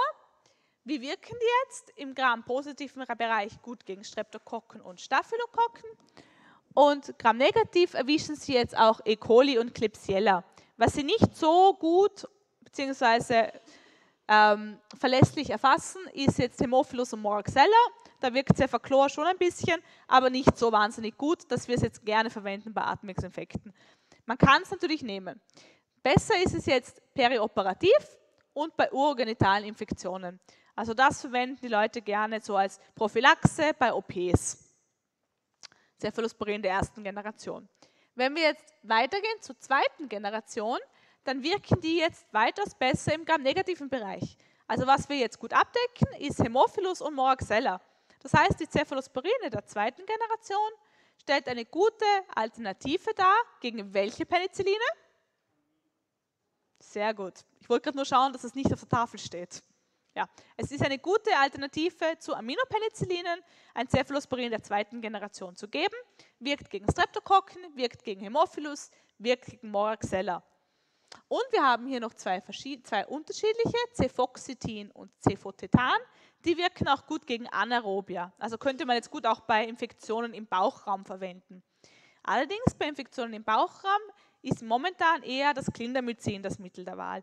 Das wirkt nämlich auch sehr gut gegen gramnegative Anaerobia. Aber das sind Ausweichmedikamente. Es gibt jetzt ein paar Besonderheiten der Cephalosporine der zweiten Generation. Das sind ganz so Fakten, die abgefragt werden. Es gibt nämlich drei von ihnen, die haben eine Seitenkette. Wer weiß, wie diese Seitenkette heißt? Okay, das haben jetzt ein paar gesagt. Sie heißt N-Methyl-Thiotetrazol-Seitenkette. Das heißt, es hat das Cefoperazon, Cefamandol und Cefotetan. Warum ist diese Seitenkette jetzt wichtig für uns? Was dürfen die Patienten, wenn sie das einnehmen, nicht tun? Genau. Was passiert, wenn sie Alkohol trinken? Antabus-Syndrom. Das nennt man auch den Disulfiram-Effekt. Das Disulfiram ist eine Substanz, die auch klinisch gegeben wird für Alkoholabhängige. Die nehmen sie regelmäßig ein, jeden Tag. Und wenn sie dann mal rückfällig werden sollten, dann wird ihnen wahnsinnig schlecht und sie übergeben sich und sie kriegen einen Kollaps. Das klingt jetzt so, als würde das heutzutage nicht mehr gemacht werden, aber ich war letzten Sommer auf einer Psychiatrie und da gibt es wirklich Patienten, die das auch regelmäßig einnehmen, weil es für sie die einzige Möglichkeit ist, trocken zu bleiben. Also, wird durchaus noch gemacht. Also, wir haben hier eine Alkoholunverträglichkeit durch diese drei Cephalosporine mit der N-Methyl-Thiotetrazol-Seitenkette. Wieso wirkt das jetzt? Es hemmt die Aldehyd-Dehydrogenase und das führt zu einer Akkumulation. Es hemmt auch die Synthese der Vitamin K-abhängigen Gerinnungsfaktoren, das haben wir vorher schon gehört. Oh, Ja, sicher. Ähm, warte. Hm? Ja, ich weiß, ich habe es mir jetzt auch gedacht. Ich weiß. Habe ich es schon? Ich habe es vorher schon auch so gehabt, oder? Also, probieren wir es noch. Nein. Kannst auch hinhalten. Geht so besser? Nein. So? Okay, probieren wir es mal so. Also ich darf jetzt halt meine Hand nicht bewegen, beziehungsweise. Okay, gut. Ähm, weil es die Vitamin K-Epoxidreduktase hemmt. Also kommt auch zu dem Abfall der Vitamin K-abhängigen Gerinnungsfaktoren C972. Das merken wir uns zur zweiten Generation. Genau, das haben wir eh schon gesagt. Es wirkt eben gut als Alternative zu den Aminopenicillinen, weil es eben gegen Atemwegsinfekte und Otitis media Keime sehr gut hilft. Hier haben wir noch einmal die Zusatzwirkungen, also die Alkoholunverträglichkeit hier bei diesen dreien und die gute Anaerobia-Wirksamkeit bei diesen zwei, Cefotetan und Cefoxitin. Wie geht es jetzt weiter? In der dritten Generation, wir haben ja schon eines von denen gehört, vorher mehrmals, nämlich das Ceftriaxon. Was ist jetzt die Verbesserung der dritten Generation? Sie wirkt noch weiter verbessert im negativen Bereich. Also wir erwischen jetzt auch Proteus und Serratia. Also grundsätzlich kann man sagen, von der ersten bis zur dritten Generation haben wir eine Verbesserung im gram-negativen Bereich. Hier ist unser Ceftriaxon, die Substanz, die wir eigentlich am häufigsten verwenden. Das gibt man gerne bei Meningitis, weil es so gut ins ZNS geht. Man gibt es auch zur Meningitis-Prophylaxe und bei anderen schweren Infektionen und auch bei Gonorrhoe. Also irgendwie kriege ich das nicht hin, es tut mir sehr leid. Ähm, Besonderheiten haben wir gesagt, die Halbwertszeit ist sehr lang und es ist, hat eine biliäre Clearance.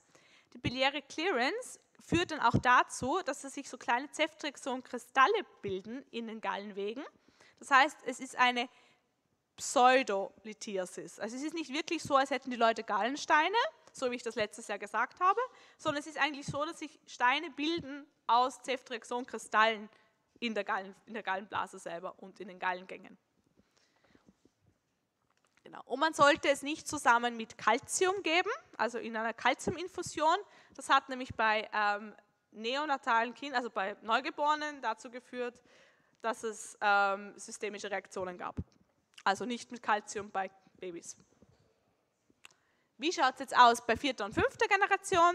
Es geht jetzt nicht konsistent so weiter, dass es sich im Gramm-negativen Bereich verbessert, sondern wir haben jetzt auch eine Wirksamkeit gegen Pseudomonas, was war bei den Penicillinen Pseudomonas wirksam? Piperacillin. Womit kombinieren wir das? Tazobactam. Also Piperacillin und Tazobactam bei den Penicillinen. Und hier haben wir das Cefepim und das Cefzazidin. Das ist wieder für unsere Problempatienten, Mukoviszidose, beatmet, nosokomiale Infektionen. In der fünften Generation haben wir jetzt Ceftobiprol und Ceftarolin. Warum sind die wichtig? Weil sie gegen MRSA wirken und gegen den Pneumococcus, der nicht mehr Penicillin-sensitiv ist. Also Penicillin Non-Sensitive Pneumococcus. Das gibt es jetzt mittlerweile nämlich auch schon. Wenn wir jetzt hier weitergehen, von den Cephalosporinen zu den Carbapenemen und zu den Monobactamen, dann fangen wir mal an mit den Carbapenemen. Das irritiert mich jetzt wahnsinnig. Ich probiere es nochmal. Vielleicht geht es jetzt. Okay, schauen wir mal. Ähm, also bei den Carbapenemen haben wir die vier Substanzen Doripenem, Imipenem, Ertapenem und Meropenem. Immer noch nicht, die gibt man alle IV. Sie sind unser Breitspektrum-Antibiotika bei der Beta-Lactamen. Das heißt, wir geben sie auch nur als Reservemittel. Jetzt müssen wir uns noch ein paar Zusatzfakten merken. Wir merken uns, das Imipenem ist an sich nephrotoxisch. Hilfst du mir? Okay. Soll ich es aufsetzen, probieren? Okay. Es wirkt wirklich. Sehr gut. Also das Imipenem wirkt nephrotoxisch, weil es wird am Bürstensaum über ein Enzym, die die Hydropeptidase, gespalten und aufgenommen in die Tubuluszelle und wirkt dann toxisch auf die Zelle. Was geben wir, um dem vorzubeugen? Das Zilastatin. Das Zilastatin hemmt dieses Enzym und wir haben keine nephrotoxische Wirkung mehr. Was ist noch wichtig? Wichtig ist, dass die Carbapeneme auch neurotoxisch wirken können. Das, was am wenigsten neurotoxisch wirkt, ist das Meropenem. Das Meropenem ist deswegen Mittel der Wahl bei Meningitis durch resistente Keime. Das Ertepenem, da kann man noch dazu sagen, dass es nicht Pseudomonas erfasst und dass es eine längere Halbwertszeit hat, von vier Stunden nämlich. Es gibt jetzt auch noch neue Beta-Lactamase-Inhibitoren, die habe ich hier unten dazu geschrieben. Das ist das Relebactam und das Vabobactam. Und die werden jetzt hinzugegeben zu den Carbapenemen, um Keime abzudecken, die jetzt auch schon Carbapenemasen entwickelt haben. Das müsst ihr nicht können, es ist lila. Aber wenn ihr irgendjemand beeindrucken wollt von den Professoren, könnt ihr das erwähnen. Die Monobactame, die Monobactame haben jetzt ein eher sehr enges Wirkspektrum. Die wirken nämlich gegen Gram-negative aerobe Keime. Also sie erwischen Hämophilus und sie erwischen Pseudomonas. Sie werden IV gegeben und man gibt sie eher selten, weil sie eher teuer sind. Also wieder die Mukoviszidose-Patienten. Und Besonderheit ist, sie haben keine Kreuzallergien. Also wir haben vorher gesagt, Penicilline haben wir oft eine Kreuzallergie mit den Cephalosporinen in 5% der Fälle. Das Arztreonam hat jetzt keine Kreuzallergien. Aber es hat natürlich den Nachteil, dass es gegen sehr viele Keime, die wir gerne erwischen würden, also die Gram-positiven, nicht wirksam ist. Das sind noch ein paar neue Sachen, die ihr auch nicht können müsst. Also das Cefiderocol ist ein Siderophor-Cephalosporin. Das nützt aus, dass Bakterien eisenabhängig proliferieren und sie haben so Siderophore an ihrer Oberfläche, die praktisch registrieren, wie viel Eisen in der Umgebung da ist und das Eisen dann aufnehmen. Also dieses Cephalosporin täuscht dem Bakterium praktisch vor, dass es Eisen ist, wird dann vom Bakterium aufgegessen und wirkt dann auf das Bakterium. Also das ist eine neue Entwicklung. Und dann gibt es auch noch diese neue Cephalosporin-Tazobactam-Kombination. Das wirkt jetzt auch gegen diese Expanded Spectrum Beta-Lactamase Enterobakterien und Pseudomonas. Müsst ihr auch nicht können. Wenn wir jetzt weitergehen, wir haben jetzt die Beta-Lactame abgehakt. Noch einmal zur Wiederholung. Welche Klassen haben wir bei den Beta-Lactamen? Ja. Ja. Ja. Jetzt gehen wir zu den Glykopeptiden. Die Glykopeptide, die hemmen jetzt auch einen Schritt der Zellwandsynthese. Hier gibt es zwei Vertreter. Das ist Vancomycin und Teicoplanin. Man kann sie beide nur IV geben. Wieso gibt man sie nur IV? Jetzt oben? Nein. Hm? Ja, sie sind so groß. Das, die Größe hat auch noch eine weitere Konsequenz. Welche Konsequenz hat das? Hm? Ja, genau. Und sie wirken nur gegen Gram-Positive. Bei den Gram-Negativen kommen sie nämlich nicht durch, durch die äußere Schicht. Was sie machen, ist, sie binden an das D-Alanin-D-Alanin und hemmen eine Transglykolase-Reaktion. Das müsst ihr nicht genau können. Wichtig ist, sie hemmen ein anderes Enzym als die Beta-Lactame. Das heißt, wenn jetzt ein Beta-Lactam nicht wirkt, kann es durchaus sein, dass diese Medikamente wirken. Zum Beispiel bei den MRSA-Keimen, bei den methicillin-resistenten Staphylococcus aureus, ist unser Mittel der ersten Wahl das Vancomycin. Das gibt man bei MRSA. Von der Kinetik haben wir gesagt, sie sind nicht oral bioverfügbar und sie haben beim Vancomycin eine Halbwertszeit von sechs Stunden und beim Teicoplanin erstaunlicherweise eine Halbwertszeit von 30 bis 100 Stunden. Das ist deswegen so, weil es durch eine lipophilen Seitenkette an das Albumin sehr stark bindet und deswegen nicht so stark eliminiert wird wie das Vancomycin. Eliminiert werden sie renal. Beide. Wie gesagt, die Anwendung ist MRSA und auch bei Enterokokken. Enterokokken sind ja auch grampositive Keime. Und man kann sie auch oral geben bei der Clostridium difficile assoziierten Diarrhoe. Wieso kann man sie jetzt oral geben? Weil sie im Darm ja nicht resorbiert werden. Das heißt, sie werden sehr spezifisch auf das Clostridium difficile im Darm wirken und den Körper wenig beeinflussen. Und das wollen wir ja in dem Fall. Von den Nebenwirkungen her merken wir uns Ototoxizität, Nephrotoxizität und das Red-Man-Syndrom.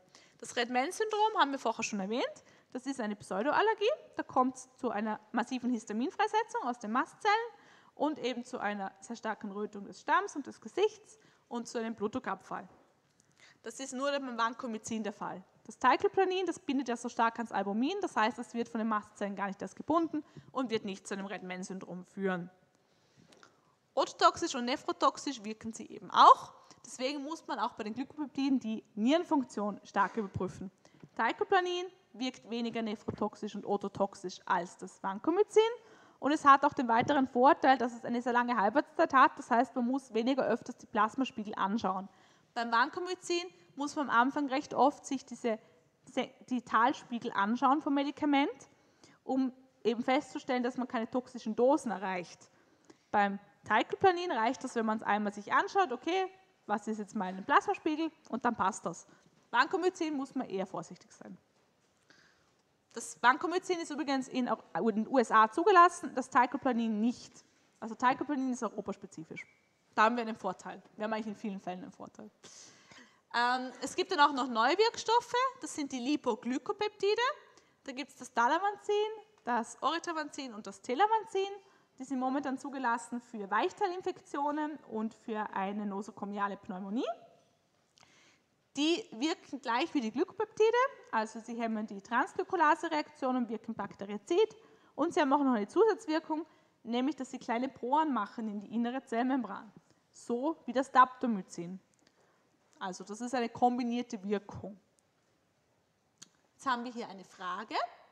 Wer mag mir sagen, welche Erreger primärresistent gegen alle Zellwandsynthesehemmer sind? Ja, Mykoplasmen. Aufzeigen ist wie gesagt nicht so gut, weil ich sehe es nicht. Ja. Gut. Okay. Das nächste, was wir haben bei den Zellwandsynthesehemmern, ist das Phosphomycin. Das Phosphomycin wirkt auch als Analogon eines Stoffes, den die Bakterien gerne verwenden, nämlich das Phosphonolpyruvat. Also es schaut so ähnlich aus wie das Phosphonolpyruvat, so wie eben auch das Beta-Lactam ähnlich ausschaut wie das Dealanin-Dealanin. Und hier wird das Enzym auch durch ein Analogon eben gehemmt. Das ist jetzt ein anderes Enzym, nämlich eines, was einen der ersten Schritte der Murinsynthese katalysiert. Wirkt auch bakterizid natürlich.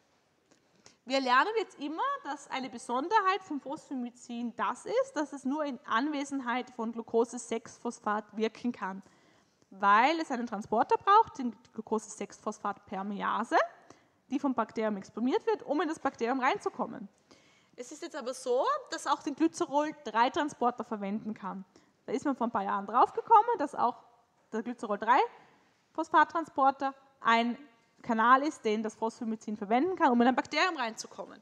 Das ist jetzt vor allem relevant bei Pseudomonas. Pseudomonas hat nämlich keine Glucose-6-Phosphat-Permease, sondern ein Glycerol-3-Phosphat. Das heißt, wir können das Phosphomycin auch bei Pseudomonas-Infektionen geben. Es gab da jetzt rezent eine Studie, wo sie das verglichen haben mit, ich glaube, Piperacillin, Tazobactam, und das war gleich effektiv. Also es kann auch als Reservemittel verwendet werden bei Pseudomonas-Infektionen. Das Wirkspektrum ist jetzt Staphylokokken, inkludiert auch MRSA, E. coli, Proteus und Enterokokken. Deswegen geben wir es auch sehr gerne beim HWI. Es wirkt sehr gut gegen E. coli, da geben wir es als Einmalgabe. Es hat eine sehr gute Gewebegängigkeit, das nützen wir aus bei Schandinfektionen. Hat eine Kollegin vorher gesagt, dass Schandinfektionen oft durch Staphylokokken verursacht werden. Phosphomycin wirkt da sehr gut. Wirkt auch gut bei Osteomyelitis, weil es eben sehr gut ins Gewebe geht. Man kann es sowohl IV als auch oral geben. Oral wird kombiniert mit einem Stoff, das heißt Drometamol. Da hat es eine orale Bioverfügbarkeit von 40 Prozent. Also ist nicht so toll, aber reicht aus. Und wenn man es als IV-Gabe gibt, ist es kombiniert mit viel Natrium. Da müssen wir auch aufpassen, vor allem bei Patienten mit Herzinsuffizienz. Wenn die eine Natriumüberlastung bekommen, kann es auch zu Herzversagen kommen. Haben wir hier.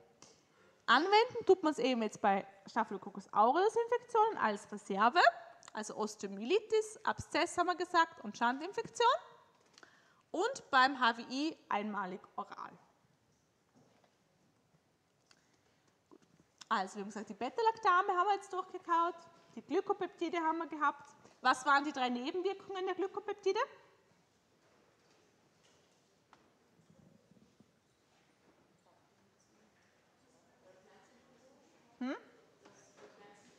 Ja, also Red-Man-Syndrom ist eine Nebenwirkung von Glykopeptiden. Welche zwei anderen haben wir noch?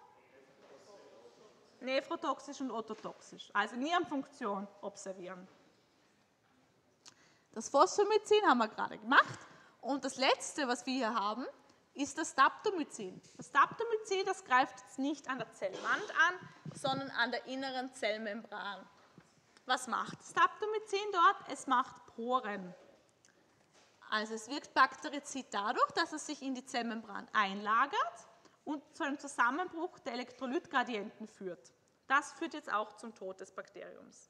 Weil die Bakterien sind ja auch darauf angewiesen, dass sie eine bestimmte Gradienten über ihre Membran haben.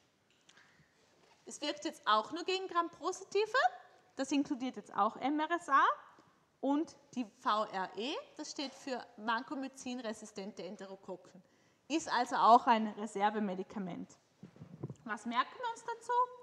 Nierenfunktion ist wichtig, es akkumuliert bei Niereninsuffizienz. Deswegen müssen wir aufpassen bei Kombination mit NSAR zum Beispiel, weil NSAR führen dazu, dass die GFR runtergeht, also die glomeruläre Filtrationsrate, und das kann zu toxischem Anstieg der Spiegel führen. Außerdem wirkt es toxisch auf Muskelzellen. Das heißt, es kann zu einer Rhabdomyolyse führen. Es gibt jetzt noch eine andere Medikamentenklasse, die sehr gerne zur Rhabdomyolyse führt, das sind die Statine. Die werden eingesetzt zur Senkung der Blutfettwerte. Wenn man die jetzt miteinander kombinieren würde, dann kann es durchaus zu einer Rhabdomyolyse kommen. Worauf müssen wir denn aufpassen? Wir schauen uns die Kreatinin, also die, die CK-Werte an, die Kreatinin-Phosphokinase-Werte und ähm, wir schauen uns auch die Nierenfunktion an, weil es bei Rhabdomyolyse auch zu einem Nierenversagen kommen kann. Es kann auch gastrointestinalen Nebenwirkungen machen. Wichtig ist auch, es ist komplett nutzlos bei Pneumonie weil das Surfactant, das ja die Alveolen in der, Lunge offen hält, dadurch es, inaktiviert. Das heißt, wir können es nicht verwenden bei Pneumonie. Das haben wir schon gesagt. Es gibt auch eine neue Substanz, das Surotomycin, das gehört zur selben Klasse, das wird auch bei der CDRD eingesetzt, also bei der Clostridium difficile assoziierten Diarrhoe. Gut, jetzt wandern wir weiter zum Ribosom. Wer, wer, kann sich noch erinnern, wie die am Ribosom angreifenden wirken? Bakterizid oder bakteriostatisch? Mhm. Ja, also Aminoglycoside merken wir uns Bakterizid, die anderen bakteriostatisch, bis auf das Quinopristin, Dalfopristin. Aber im Großen und Ganzen wirken sie bakteriostatisch. Wie schauen jetzt unsere Ribosomen aus? beziehungsweise die der Bakterien. Wir haben ja eine 40S und eine 60S-Untereinheit, die Bakterien eine 50S, 30S-Untereinheit. Und es ist ja immer vom Vorteil, wenn wir einen Angriffspunkt wählen, der beim Bakterium besteht, aber bei uns nicht, um die Nebenwirkungen zu verringern. Das heißt, das Ribosom ist ein super Angriffspunkt, weil die Bakterienribosomen einfach anders aussehen als die der Menschen. Wenn wir hier uns das Ribosom genauer anschauen, haben wir hier unten die 30S-Untereinheit und hier oben haben wir die 50S-Untereinheit. Und es gibt jetzt hier drei Bindungsstellen, die E, P und die A-Stelle. Und je nachdem, wo jetzt diese ganzen Antibiotika ihren Angriffspunkt haben, wird eine von diesen Stellen blockiert. Es gibt dann auch noch eine Peptidyltransferreaktion, weil wenn wir jetzt hier ein neues, eine neue tRNA andocken, dann muss ja diese Peptylkette hier, die hier schon dranhängt, von der P-Seite übertragen werden. Das ist auch ein Enzym, das sitzt im Ribosom drinnen und macht das. Das kann auch gehemmt werden. Also nur mal zur Wiederholung. Die Aminoglycoside haben jetzt mehrere Substanzen hier. Das erste, was wir hatten von den Aminoglycosiden, war das Streptomycin.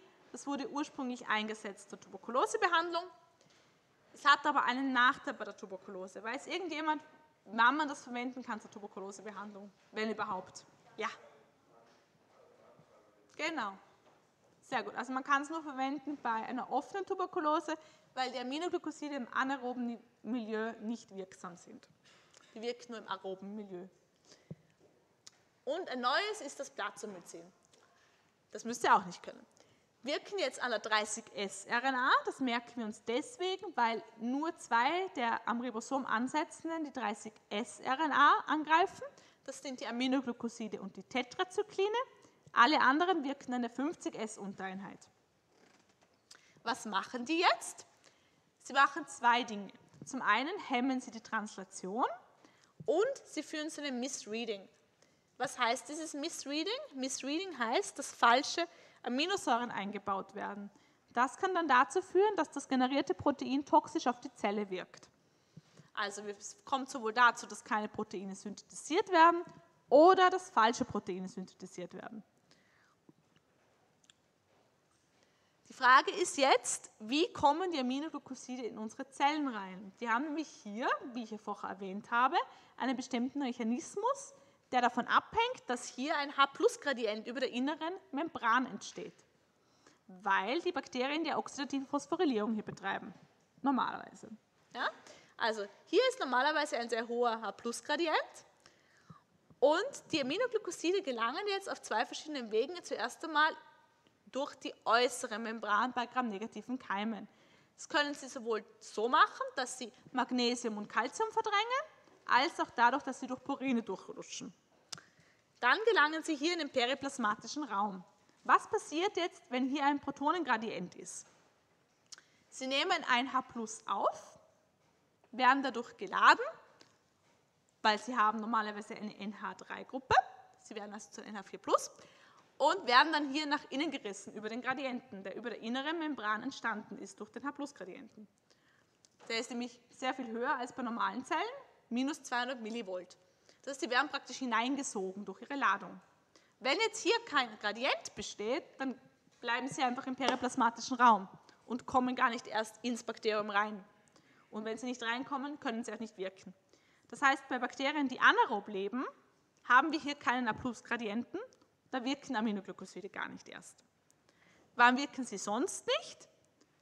Sie wirken auch nicht in einem sehr sauren Milieu, weil in einem sehr sauren Milieu haben wir hier draußen ja sehr viele H+, um das Bakterium herum. Das heißt, sie werden schon geladen, bevor sie überhaupt hier nach innen kommen und schaffen das gar nicht in den periplasmatischen Raum. Also es kommt darauf an, dass sie genau hier ihre Ladung bekommen durch die H+, und dann reingesogen werden. Im anaeroben Milieu wirkt es nicht und im sehr sauren Milieu wirken sie auch nicht. Haben wir hier gesagt? Sie wirken also bisher gut gegen gramnegative Aerobia, keine Anaerobia. Es inkludiert auch Pseudomonas und sie haben eine begrenzte Wirksamkeit gegen Streptokokken und Staphylokokken, einfach weil sie nicht so gut nach innen kommen, weil ja so eine dicke Murinschicht besteht bei den Gram-Positiven. Sie wirken jetzt bakterizid und hier ist das Wichtige, dass sie konzentrationsabhängig bakterizid wirken.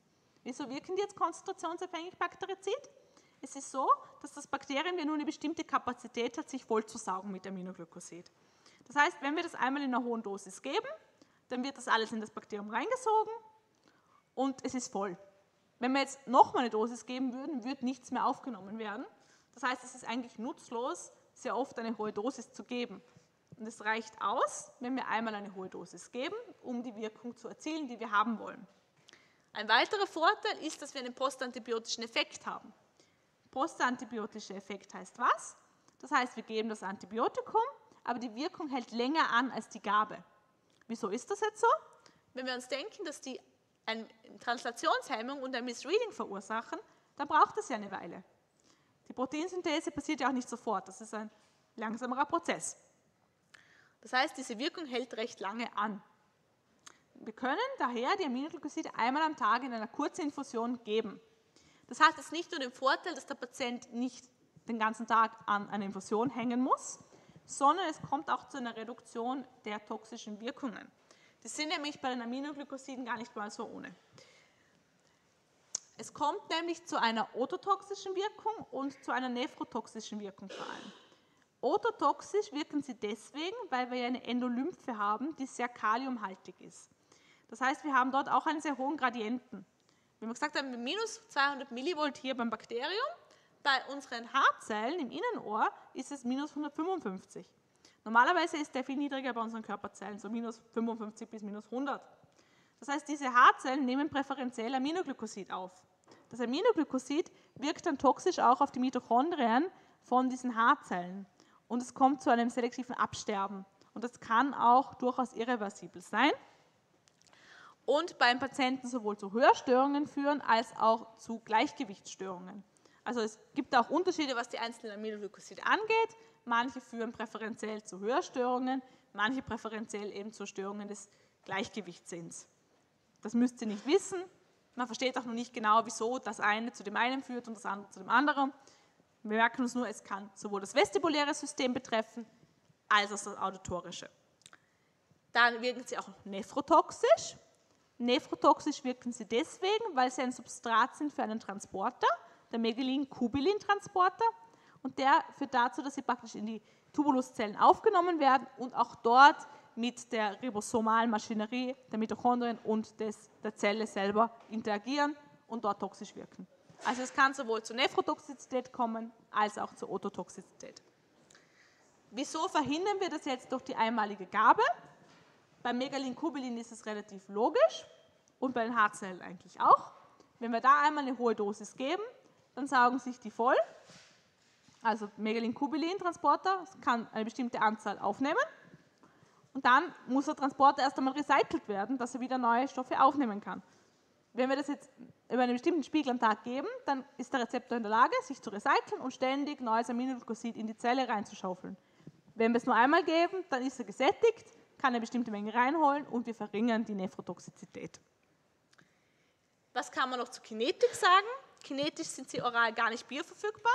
Sie werden nicht metabolisiert, sie sind kaum proteingebunden, sie werden elal eliminiert und haben eine kurze Halbwertszeit. Die kurze Halbwertszeit ist für uns vollkommen egal, weil wir sie ja eh nur einmal am Tag geben und wir einmal eine hohe Dosis erreichen wollen. Der Rest ist uns egal. Resistenzen entstehen jetzt dadurch, dass wir hier in diesem periplasmatischen Raum modifizierende Enzyme haben. Die können es jetzt acetylieren, methylieren etc. Sie modifizieren sie ganz einfach so, dass sie das H nicht mehr aufnehmen können. Das heißt, sie bleiben hier stecken, im periplasmatischen Raum. Es hat jetzt ein Aminoglykosid, gibt es, das Amikazin. Das hat die Besonderheit, dass es gegen die meisten dieser modifizierenden Enzyme resistent ist und wir es immer noch einsetzen können. Das Streptomycin hat auch noch die Besonderheit, dass es auch eine Mutation des Ribosoms gibt, die zu einer Streptomycin-Resistenz führen kann. Das ist bei euch eine Frage in eurem Fragenkatalog. Hat mich auch eine Kollegin vorher gefragt. Also, das haben wir schon gesagt, die ototoxische Wirkung. Die kann man übrigens auch ähm, therapeutisch einsetzen bei Patienten, die unter sehr starkem Schwindel leiden. Bei denen kann man selektiv durch Aminoglycoside die Haarzellen so abtöten, dass ihre Schwindelsymptomatik aufhört. Macht man aber sehr selten. Macht man aber teilweise noch. Habe ich auch mal im Krankenhaus gesehen. Es gibt jetzt auch einen Polymorphismus, der bei bestimmten Familien besteht. Der führt dann dazu, dass diese Personen nach einmaliger Aminoglycosidgabe taub werden. Das ist nicht mal so selten. Das hat eine Prävalenz von 1 zu 500 in Europa. Also wird durchaus ein Studienkollege von euch diese Mutation haben. Also man hat sogar empfohlen, dass man darauf testen sollte vor Aminoglykosidgabe. Es führt zu Taubheit nach einmaliger Gabe. Nephrotoxizität haben wir schon gesagt. Da kann man eben die Megalin-Kubulin-Rezeptoren sich merken und wir merken uns auch noch, man kann auf unspezifische Marker im Hahn untersuchen. Da ist zum Beispiel ein Marker für Nierenschaden ist Beta-2-Mikroglobulin. Ein anderer Marker wäre Cystatin C. Das sind alles praktisch ähm, Marker, um die Nierenfunktion zu monitieren. Weil das Kreatinin ist ja ein eher, naja, es ist nicht so reliable, weil es erst ab einem bestimmten GFR, ab, also absenken, ansteigen wird, also erst ab 50 Prozent. Davor gibt es dann immer noch die Kreatininsekretion im Tubulus, die praktisch maskiert, dass die GFR schon abgesunken ist. Also es ist ganz gut, wenn wir uns auch eine andere Marker anschauen. Außerdem führen die Aminoglycoside zu einer muskulären Blockade. Was heißt das? Also wir haben ja unsere muskuläre Endplatte, da wird präsynaptisch Acetylcholin freigesetzt und das bindet dann an die Rezeptoren der Postsynapsen, das führt dann zur Muskelkontraktion. Es ist jetzt so, dass die Aminoglycoside sowohl mit diesen Acetylcholin-Rezeptoren interagieren, als auch mit den Calciumkanälen der Präsynapse. Und in der Präsynapse haben wir ja Calciumeinstrom, der dann zur, zur Acetylcholin-Freisetzung führt. Das wird beides blockiert. Und es gibt jetzt auch noch eine Autoimmunerkrankung, die Myasthenia gravis, bei der kommt es zur Bildung von Autoantikörpern gegen den Acetylcholinrezeptor. Wenn wir jetzt bei einer Person, die Myasthenia gravis hat, noch ein Aminoglykosid dazugeben, dann kommt es zu einer muskulären Lähmung. Also das ist nicht gut. Deswegen kontraindiziert bei Myasthenia gravis. Es ist außerdem kontraindiziert in der Schwangerschaft, bei schon bestehenden Innenohrschäden und bei einer Niereninsuffizienz.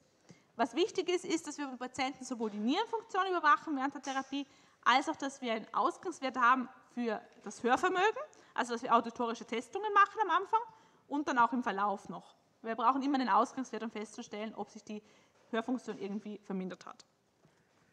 Anwenden tun wir die Aminoglycoside meist als Reservemittel, also nicht so das Mittel der Wahl. Außer bei Endokarditis gibt man es in Kombination mit Beta-Lactamen. Bei Sepsis auch. Man kann es auch selektiv einsetzen oral. Also wir erinnern uns, IV ist es ja nicht bioverfügbar. Äh, IV ist es ja bioverfügbar, oral nicht. Ähm, weil es die Keimflora im Darm reduziert. Das würden wir zum Beispiel machen bei einer hepatischen Enzephalopathie. Bei hepatischen Enzephalopathie ist das Problem ja, dass zu viel Ammoniak im Körper ist. Und der Ammoniak wird auch durch die Darmbakterien produziert. Das heißt, eine Möglichkeit, den Ammoniak zu senken, ist, indem wir die Darmbakterien hemmen. Da kann man das Neomycin, das Paromomycin zum Beispiel geben. Bessere Substanz ist allerdings die Lactulose. Lactulose ist normalerweise Abführmittel das kann man auch geben bei hepatischer Enzephalopathie, weil das führt dazu, dass es ein bisschen saurer wird im Darm. Und das H+, was dadurch entsteht, das bindet dann an Ammoniak, dadurch kann der Ammoniak nicht mehr resorbiert, also es führt dazu, dass der Ammoniak geladen wird, dann wird er nicht mehr resorbiert und es kommt zu vermehrter Ausscheidung. Das verringert auch die Ammoniakspiegel im Körper. Also Lactulose ist besser als Aminoglycoside. Und das Streptomycin, Calamycin kann man auch als Ausweichmedikament geben bei Mykobakterien, also bei Tuberkulose. Das nochmal zur Erinnerung. Einmalige Gabe pro Tag reduziert die Toxizität. Dann geht es weiter. Wir gehen von der 30S-Untereinheit zur 50S-Untereinheit. Das Erythromycin, hat die Kollegin schon gesagt, ist eigentlich obsolet. Andere Substanzen sind Acetor, Roxatromycin und Claritromycin. Telemotromycin ist eigentlich nicht mehr wirklich am Markt, weil, also, weil es zu Leberschäden geführt hat. Wirkmechanismus ist jetzt, dass sie an die 50S-Untereinheit binden, nämlich hier zwischen der A- und der P-Stelle. Und ich habe vorher schon gesagt, dass es diese Translokation der Peptidkette gibt. Diese Translokationsreaktion wird jetzt durch das Makrolid gehemmt. Dadurch kommt es zu einem bakteriostatischen Effekt. Wie können die Bakterien jetzt Resistenzen entwickeln? Sie können diese Bindungsstelle methylieren. Es kann zu einem vermehrten Efflux kommen.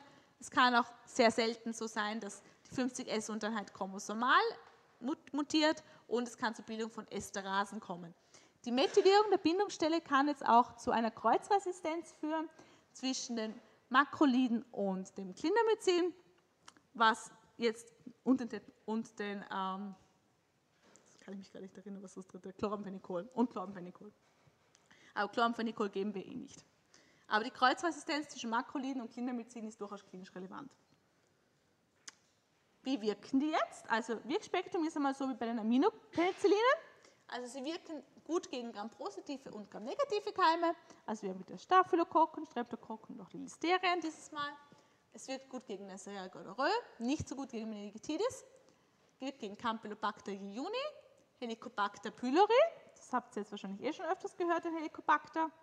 Da gibt man sehr oft das Claritromycin in Kombi mit Metronidazol. Und es wirkt jetzt auch gegen Hämophilus und Moraxella. Wenn wir es jetzt, und Borrelien und Treponema pallidum wird auch erwischt. Wenn wir uns jetzt diese Keime anschauen, dann können wir wieder sagen, oh ja super, es wirkt gegen die Keime, die Otitis media und Sinusitis machen. Deswegen ist das auch unser Ausweichmedikament, wenn wir keine Penicilline geben können, wegen einer Allergie. Wenn wir jetzt hier weitergehen, dann wirkt es jetzt nicht nur gegen die hier, sondern es wirkt jetzt auch gegen die Zellwandlosen. Es wirkt jetzt also auch gegen die Chlamydien, es wirkt gegen die Mykoplasmen, es wirkt gegen Rickettien und Legionellen und auch gegen die Toxoplasmen. Bei der Toxoplasmose gibt man das Spiramycin. Wer erkrankt denn häufig an Toxoplasmose? Beziehungsweise wem ist das gefährlich? Ja, wir haben wieder die Schwangeren. Also wenn eine Schwangere Toxoplasmose bekommt, wie bekommt sie Toxoplasmose überhaupt? Katzenkot, genau. Also wenn die Toxoplasmose bekommt, dann kann es auch sein, dass das aufs Kind übertragen wird und das führt dann zu neurologischen Folgeerscheinungen des Kindes.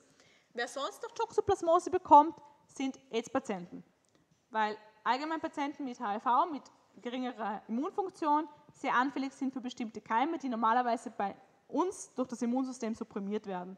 Weil es sind sehr viele Leute eigentlich positiv für Toxoplasmen. Wir haben das, sehr viele von uns sind darauf positiv, aber wir haben ein funktionierendes Immunsystem, das heißt, wir kriegen keine Infektion dadurch. Also bei Schwangeren würde man das Spiramycin geben. Das haben wir schon gesagt. Haemophilus influenzae wird abgedeckt, Moraxella cataralis wird abgedeckt, Streptokokken werden abgedeckt. Das heißt, wir verwenden es bei Atemwegsinfekten. Wir können es anwenden bei der Legionellenpneumonie und der atypischen Pneumonie. Atypische Pneumonie wird ja durch Mykoplasmen oft ausgelöst. Wir können es bei Helicobacter pylori anwenden, also eben in Kombi mit Metronidazol, das Claritromycin, oder in Kombination mit Amoxicillin, plus natürlich PPIs dazu. Und wir verwenden es zur Toxoplasmosebehandlung in der Schwangerschaft. Und bei Geschlechtskrankheiten kann man es auch verwenden. Da haben wir gesagt, das Acetromycin als Einmalgabe ist ja dort Mittel der Wahl bei den Leitlinien. Okay. Von der Kinetik her ist, was für uns wichtig ist, dass sie hepatisch metabolisiert werden. Das hatten wir bis jetzt ja noch nicht, hepatische Metabolisierung. Bis jetzt war das meiste renal, abgesehen von Ceftriaxon. Hier haben wir eine hepatische Metabolisierung. Was ist jetzt die Folge davon? Die Folge davon ist, dass wir uns ZYP-Interaktionen merken sollten und dass es auch unspezifisch zu einem Transaminasenanstieg kommen kann. Ein Transaminasenanstieg an sich ist noch nicht gefährlich, das heißt ganz einfach, dass die Leber zu arbeiten hat. Wenn irgendwas hepatisch metabolisiert wird, kommt es sehr oft zu einem Transaminasenanstieg. Muss uns grundsätzlich noch keine Sorgen machen. Was wir uns von der Pharmakokinetik merken sollten, ist, dass das Acetromycin ziemlicher Hammer ist. Es hat nämlich ein sehr hohes Verteilungsvolumen, 40 Liter pro Kilogramm, und es hat eine sehr lange Halbwertszeit. Deswegen können wir es auch einmal geben. Von den anderen muss man sich jetzt die Pharmakokinetik nicht so genau merken. Das Erythromycin, da merken wir uns ganz einfach, dass es oral nicht sehr gut bioverfügbar ist. Deswegen verwenden wir es auch heutzutage nicht mehr wirklich. Die anderen sind oral viel besser bioverfügbar. Ja. Ja. Ja. Also wenn etwas hepatisch metabolisiert wird, muss das noch nicht heißen, dass es biliär eliminiert wird. Hm? Nein, das ist eh gut, das ist eh eine gute Frage. Ähm, also eine hepatische Metabolisierung heißt noch nicht, dass es biliär eliminiert wird. Weil hepatische Metabolisierung kann auch dazu führen, dass du einen Metabolit hast, der dann ins Blut abgegeben wird und dann renal ausgeschieden wird. Also das wird hepatisch metabolisiert, aber sie werden auch renal eliminiert.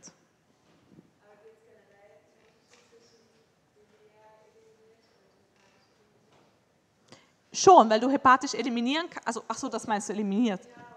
Würde ich sagen, nein. Weil es kommt ja nicht anders in den Stuhl als, als biliär. Also wenn es hepatisch eliminiert wird, dann muss es ja eigentlich biliär ausgeschieden werden. Aber hepatische Metabolisierung heißt doch nicht hepatische Eliminierung. Macht das Sinn? Okay. War die Frage für die anderen auch ersichtlich? Und ja, okay. Also die werden hepatisch metabolisiert. Sie werden auch zum Teil renal ausgeschieden. Also von den Nebenwirkungen her ist es so, dass wir uns den Motylin-Agonismus merken sollten. Das betrifft vor allem das Erythromycin. Also wie gesagt, Erythromycin ist ja bei der antibiotischen Behandlung mittlerweile ziemlich obsolet, weil es schlechte Bierverfügbarkeit hat. Es wird aber auf die Chirurgie teilweise eingesetzt bei einer Gastroparese. Also wenn der Darm von den Bewegungen her nicht mehr so wirklich mitspielt, dann nimmt man manchmal das Erythromycin, weil es Motylin-Agonist ist und die Darmmotilität anregt. Ist jetzt vielleicht nicht die beste Substanz, weil es ja auch noch antibiotisch wirkt und Resistenzbildung hervorrufen würde. Wird aber verwendet. Was sonst noch wichtig ist für uns, ist, dass die Substanzen eine QT-Verlängerung machen. Wozu führt jetzt eine QT-Verlängerung im schlimmsten Fall? Oh, es ist ja schon neun. Okay, ähm, machen wir das noch fertig, die Makrolide, und dann würde ich sagen, machen wir Schluss. Ja, also, QT-Verlängerung führt zu welcher Arrhythmie? Du darfst nicht sagen, du darfst nur Anatomie lernen. Torsate Point, genau. Also es führt zu einer ventrikulären Tachykardie, die nennt man Torsate Point. Es ist jetzt so, dass sehr viele Medikamente zu einer QT-Verlängerung führen können. Unter anderem ist für uns da wichtig die Klasse der Antidepressiva. Wir lernen im Studium meistens nicht so genau die Antidepressiva, weil der Antidepressiva-Block wird nicht mehr von den Pharmakologen gemacht, sondern von den Klinikern. Aber wir merken uns, Antidepressiva sollten wir auf jeden Fall schauen, wenn wir ein Makrolid geben. Da gehören jetzt zum Beispiel die Serotonin-Aufnahmehämmer dazu, also Sertralin und die Trizyklika. Und außerdem Neuroleptika, wie zum Beispiel Haloperidol, führen auch zu einer QT-Verlängerung. Bei diesen Medikamenten müssen wir auf die Interaktion achten. Unspezifische Nebenwirkungen sind Kopfweh und Schwindel, kann auch zu Sehstörungen kommen durch Erythromycin. Transaminasenanstieg haben wir schon gesagt. Das Tetromycin ist, zum, ist vom Markt genommen worden wegen starker Lebertoxizität. Es hat eine anticholinerge Wirkkomponente und man hat dann gesagt, es wirkt deswegen lebertoxisch, weil es mit dem Nervus vagus interagiert und der Nervus vagus interagiert mit der Leber und das führt dann zur Lebertoxizität. Ich weiß nicht, wie viel da dran ist. Es gibt jetzt eine neue Substanz, das Solitromycin. Das ist ein verbessertes Teletomycin, wirkt nicht mehr lebertoxisch, hat ein breiteres Wirkspektrum. Und die Interaktion, die wir uns auf jeden Fall merken sollten, ist die CYP3A4-Inhibition durch Erythromycin und Claritromycin. Das ist jetzt die erste CYP-Interaktion des Abends. Die müssen wir uns einbläuen. Das ist das, was wir am Ende vom Studium noch alle wissen werden vom Hammerblock. CYP3A4-Inhibitoren sind Erythromycin und Claritromycin.